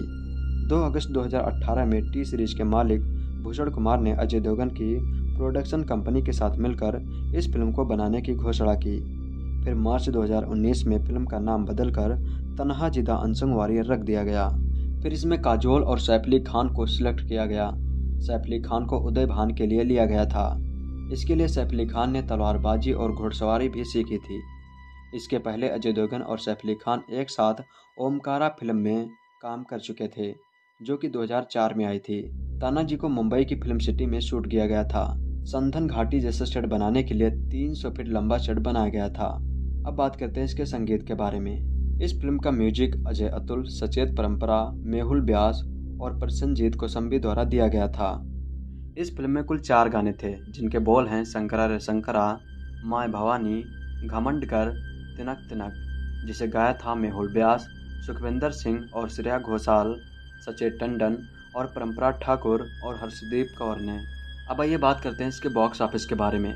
तानाजी ने अपने शुरुआती दिन घरेलू बॉक्स ऑफ़िस पर 15 करोड़ रुपए कमाए थे। दूसरे दिन फ़िल्म ने साढ़े बीस करोड़ रुपए की कमाई की थी।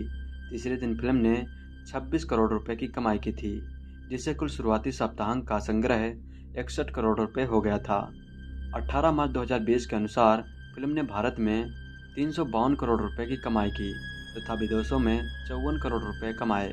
इस फ़िल्म ने दुनिया भर में 407 करोड़ रुपए कमाए थे और बॉक्स ऑफ़िस पर एक बड़ी सफल फ़िल्म साबित हुई थी।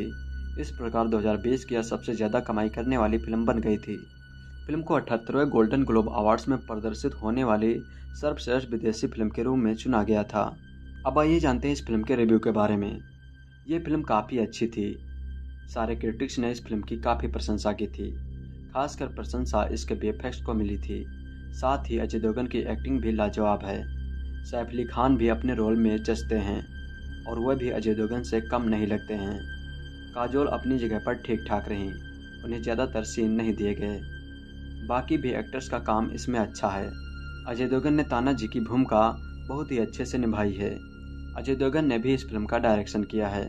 अजय देवगन वैसे भी एक मंझे हुए कलाकार हैं तो उनकी एक्टिंग पर कोई भी शक नहीं किया जा सकता। आपको यह फ़िल्म जरा भी बोर नहीं होने देती। पहला हाफ़ भी इसमें मज़बूत है और दूसरा हाफ़ भी। यह फ़िल्म वाकई में एक लाजवाब फ़िल्म है। आपको एक बार ज़रूर देखनी चाहिए। साथ ही और भी क्रिटिक्स ने इसके अच्छे रिव्यू दिए थे। Review aggregator website Rotten Tomatoes पर तानाजी की औसत समीक्षा 8.2 आउट ऑफ़ 10 की औसत रेटिंग के साथ 10 समीक्षाओं के आधार पर 70 परसेंट है। फ़िल्म कंपेनियन की अनुपमा चोपड़ा ने इतिहास के अमर चित्र कथा कॉमिक से अलग इतिहास की एक अप्रकाशिक रिटेलिंग को उल्लेख किया, जिसने ऐतिहासिक चश्मे, राष्ट्रवाद और अतिपुरतत्व को मिश्रित किया। कहानी साउंड इफ़ेक्ट वेशभूषा और व्यक्तिगत प्रदर्शन की विशेष रूप से प्रशंसा की गई। राहुल देसाई ने इसे एक चालाक काम बताया, जो एक व्यापक भगवा करण द्वारा विवाहित था, जिसे भारत में राजनीतिक माहौल का फ़ायदा उठाने की कोशिश की गई। द हिंदुस्तान टाइम्स की समीक्षा में एक शानदार काम बताया गया। जिसमें असाधारण व्यक्तिगत प्रदर्शन, एक मनोरम कहानी और उत्कृष्ट वीडियो प्रभाव थे। द हिंदू की नम्रता जोशी ने कहा कि फ़िल्म अच्छी तरह से शुरू हुई है, बीच में लहरा रही है, लेकिन अंत में शानदार वापसी कर जाती है। एक कैथरीन और एंड्रालाइन भीड़ पहुँचती है। द मिंट के उदय भाटिया ने इसे एक मूर्खतापूर्ण कार्टून इतिहास बताया, जिसने प्रिंस ऑफ़ पोर्सिया से अपनी भौतिकी उधार ली थी, लेकिन फिर भी इसमें धारा प्रवाह, कार्रवाई और दिलचस्प व्यक्तिगत प्रदर्शन शामिल थे। रोमे पर पलोमी दास ने तनहा जी को एक मज़ेदार हाइपर नेशनलिस्टिक एक्शन थ्रिलर के रूप में नोट किया, जिसने एक यूनी आयामी संशोधनवादी, इतिहास और परिष्कृत इस्लामाफोबिया को शुद्ध किया। एनडीटीवी के सिब्बल चटर्जी ने इसे ऐतिहासिक रूप से अमानवीय कार्य बताया, जो कि एक भगवाकृत हिंदू मुस्लिम बाइनरी के चित्रण में किसी भी और सभी बारीकियों को स्त्री करता है। हालाँकि उन्होंने समग्र उत्पादन को और शक्तिशाली व्यक्तिगत प्रदर्शन द्वारा समर्थित होने का उल्लेख किया। तानुल ठाकुर ने इसे एक ऐसी कृत के रूप में उल्लेख किया, जिसमें उत्कृष्ट सिनेमाटोग्राफी थी, लेकिन भारत के समग्र भगवाकरण को पूरा करते हुए इसे अहंकारी धर्म राष्ट्रवादी प्रचार द्वारा इसे बहुत ही कम पसंद किया गया था। इंडियन एक्सप्रेस के ऊपर सुब्रा गुप्ता ने यह उल्लेख किया कि सरसरी भद्दी भद्दी गालियाँ पेश की गई थी, जिसमें मराठा शोर की अतिशयोक्तपूर्ण दास्ता को एक हिंदू उत्साह के साथ चित्रित किया गया था। रेडिप की सुकन्या वर्मा ने कहा कि यह भगवा शोहरत की लड़ाई के साथ इतिहास की एक पौराणिक वापसी है। व्यक्तिगत प्रदर्शन और युद्ध के दृश्य की कोरियोग्राफी की प्रशंसा की गई। राजीव मसंद ने इसे एक संदिग्ध रूप से काल्पनिक काल्पनिक काम के रूप में उल्लेख किया, जिससे हाइपर नेशनलिस्टिक जलवायु की अपील की। लेकिन इसमें मज़बूत फिल्मोग्राफी, अंत के युद्ध के दृश्य और शानदार व्यक्तिगत प्रदर्शन थे। द क्विंट के स्टूटी घोष ने ऐतिहासिक सटीकता और समस्याग्रस्त उपग्रहों के साथ अपनी व्यापक स्वतंत्रता के बावजूद इसे मज़बूत व्यक्तिगत प्रदर्शन के साथ एक नेत्रहीन तेजस्वी फ़िल्म का उल्लेख किया। आज हम बात करेंगे तानाजी के बारे में। तानाजी जिनका पूरा नाम था तानाजी मालूसरे, वह मराठा साम्राज्य के मराठा सेना में सूबेदार सरदार थे। वह छत्रपति शिवाजी महाराज के साथ मराठा साम्राज्य हिंदी स्वराज स्थापना के लिए सूबेदार के रूप में काम करते थे। सूबेदार, जिसे किलेदार भी कहा जाता था। तानाजी छत्रपति शिवाजी महाराज के बचपन के मित्र थे। वे बचपन में एक साथ खेले थे। तानाजी 1670 ईस्वी में सिंहगढ़ की लड़ाई में अपनी महत्वपूर्ण भूमिका के लिए जाने जाते हैं। इन्होंने कुंडाड़ा किला को वापस पाने के लिए अपनी जान तक गंवा दी थी। तानाजी ने कुंडाड़ा किला के लिए अपने बेटे की शादी तक को टाल दिया था और कहा कि पहले कुंडाड़ा की शादी होगी और बाद में उनके बेटे रायबा की। उन दिनों सूबेदार ताना के बेटे रायबा के विवाह की तैयारियाँ चल रही थी। उसी वक्त तानाजी शिवाजी महाराज के घर अपने बेटे की शादी का आमंत्रण लेकर पहुँचे। तब उन्हें पता चला कि छत पर शिवाजी महाराज कुंडाड़ा पर चढ़ाई करने वाले हैं। तब तानाजी ने कहा कि मैं कुंडाड़ा जीत कर लाऊँगा। कुछ इतिहासकारों का मानना है कि एक दिन शिवाजी महाराज की माँ जीजाबाई अपने महल की खिड़की के सामने बैठी अपने बाल खींच रही थी। तभी उन्होंने कुंडाड़ा पर लहराता हुआ मुगल का झंडा देखा और वह काफ़ी दुखी हुई। इसी दौरान उन्होंने अपने बेटे शिवाजी महाराज को एक संदेशा भिजवाया और कहा कि जितनी जल्दी हो सके वो मुझसे आके मिले। जब संदेशा शिवाजी के पास पहुँचा तो वे कुछ ही देर में अपनी माँ के पास मिलने पहुँच गए और अपनी माँ जीजाबाई से पूछा कि, क्या बात है? तो उनकी माँ ने कुंडाड़ा किला को वापस पाने की बात कही। इस पर शिवाजी महाराज भी बहुत दुखी हुए। उन्होंने कहा कि कुंडाड़ा जीतना अब आसान नहीं है, क्योंकि वहाँ पर मुगलों द्वारा पाँच हज़ार सैनिक तैनात किए गए हैं और वहाँ की सुरक्षा बहुत कड़ी है। तब जीजाबाई ने शिवाजी महाराज से कुंडाड़ा को जीतने की जिद की। कुछ इतिहासकारों का मानना है कि जब जीजाबाई जी को छत्रपति साहू जी महाराज ने कुंडाड़ा किला जीतना नामुमकिन बताया तो वह अत्यधिक क्रोधित हो गई और कहा कि अगर कुंडाड़ा किला वापस नहीं लाए तो वह उनको श्राप दे देंगी और उनका सारा साम्राज्य नष्ट हो जाएगा। इस पर शिवाजी महाराज को अपने दोस्त तानाजी की याद आती है और वे तानाजी मालूसरे को संदेशा देकर बुलाते हैं। जब तानाजी शिवाजी के यहाँ पहुँचते हैं तो उनकी हिम्मत नहीं होती है कि वे तानाजी से कह सके कि कुंडाड़ा पर आक्रमण करो, क्योंकि कुंडाड़ा जीतना बहुत ही मुश्किल हो गया था। आज तक जितने भी लोगों को आक्रमण के लिए भेजा गया था, उनमें से कोई भी वापस नहीं आया था। शिवाजी महाराज ने तानाजी से कहा कि आपको मेरी माँ ने बुलाया है। वे यह सुनकर काफ़ी खुश हुए और तुरंत माँ जीजाबाई के पास पहुँचे। तब जीजाबाई ने इन्हें कुंडाड़ा को वापस लाने की बात कही। तानाजी अपने बेटे के विवाह जैसे काम को छोड़कर कुंडाड़ा पर आक्रमण के लिए चले गए। छत्रपति साहू जी महाराज की सेना में कई सरदार थे, परंतु शिवाजी महाराज ने कुंडाड़ा के लिए तानाजी को चुना था। लेकिन तानाजी मारे गए। जब शिवाजी महाराज ने यह समाचार सुना तो वे बहुत दुखी हुए और उनके मुँह से निकल पड़ा गढ़ आला पड़ सिंगेला जिसका मतलब होता है कि किला तो हमने जीत लिया, पर अपना शेर खो दिया। तानाजी की मृत्यु के बाद कई दिनों तक शिवाजी महाराज उनकी याद में रोते रहे और उन्होंने कुंडाड़ा किले का नाम बदलकर सिंहगढ़ का किला नाम रख दिया। तानाजी महाराज का जन्म सत्रहवीं शताब्दी में महाराष्ट्र के कोंकण प्रांत में महाड़ के पास उमरथे में हुआ था। वे बचपन से छत्रपति शिवाजी महाराज के साथी थे। तानाजी राव शिवाजी के साथ हर लड़ाई में जाते थे। तानाजी को तलवारबाजी और लड़ाई करने का बहुत शौक था। यही कारण था कि वे शिवाजी के सबसे अच्छे दोस्त थे। तानाजी मालूसरे जब कुंडाड़ा किला को जीतने के लिए गए थे तो वे अपने साथ उनके भाई सूर्या जी मालूसरे और अपने मामा, सेलार मामा को साथ लेकर गए थे। वह पूरे 342 सैनिक लेकर गए थे। तानाजी मालूसरे शरीर से हट्टे कट्टे और शक्तिपूर्ण थे। कुंडाड़ा किला एक बहुत ही महत्वपूर्ण स्थान पर स्थित था। यह ज़मीन से बहुत ऊँचे पहाड़ों पर बना हुआ था। इसकी ऊंचाई समुद्र तल से चवालीस सौ फीट की ऊंचाई पर स्थित है, जिससे कि यह राजनीतिक कारणों से भी काफ़ी महत्वपूर्ण था। आज के समय में यह पुणे से लगभग 30 किलोमीटर की दूरी पर स्थित है। यह किला जीतना शिवाजी महाराज के साम्राज्य के लिए बहुत ही महत्वपूर्ण था। कुंडाड़ा पर आक्रमण के लिए तानाजी अपने सैनिक के साथ एक यशवंती नाम की पालतू गोह ले गए थे, जो कि एक बड़ी छिपकली जैसी होती है। इसे अलग अलग राज्यों में अलग अलग नामों से पुकारा जाता है। यह छिपकली आकार में लगभग पाँच फीट की थी और यह बड़ी छिपकली आसानी से दीवार पर चढ़ सकती है और खड़ी चट्टानों पर भी चढ़ सकती है। इतना ही नहीं, यह अपने साथ कई लोगों का वज़न भी संभाल सकती है। तानाजी और उनके सैनिकों की टुकड़ी रात के घने अंधेरे में पश्चिमी भाग जहाँ पर ऊँचे पहाड़ों की खड़ी चढ़ाई थी, वहाँ पहुँचे और अपनी यशवंती यानी बड़ी छिपकली की कमर में रस्सी बांधी और उसके सहारे कुंडाड़ा किले पर चढ़ाई करने लगे। कुंडाड़ा किले के पश्चिमी भाग में पहाड़ी होने के कारण वहाँ पर मुगलों का पहरा कम होता था और वहाँ पर ज़्यादा सैनिक तैनात नहीं थे। कहा जाता है कि तानाजी मालूसरे बहुत ही चालाक थे। सिंहगढ़ की चढ़ाई से पहले वह कुंडाड़ा किले में पहुँच गए थे और जासूसी करने लगे थे और उन्होंने कुंडाड़ा के किले के बारे में सभी मार्गों का पता लगाया था। उस समय उस किले का रक्षक उदयभान था।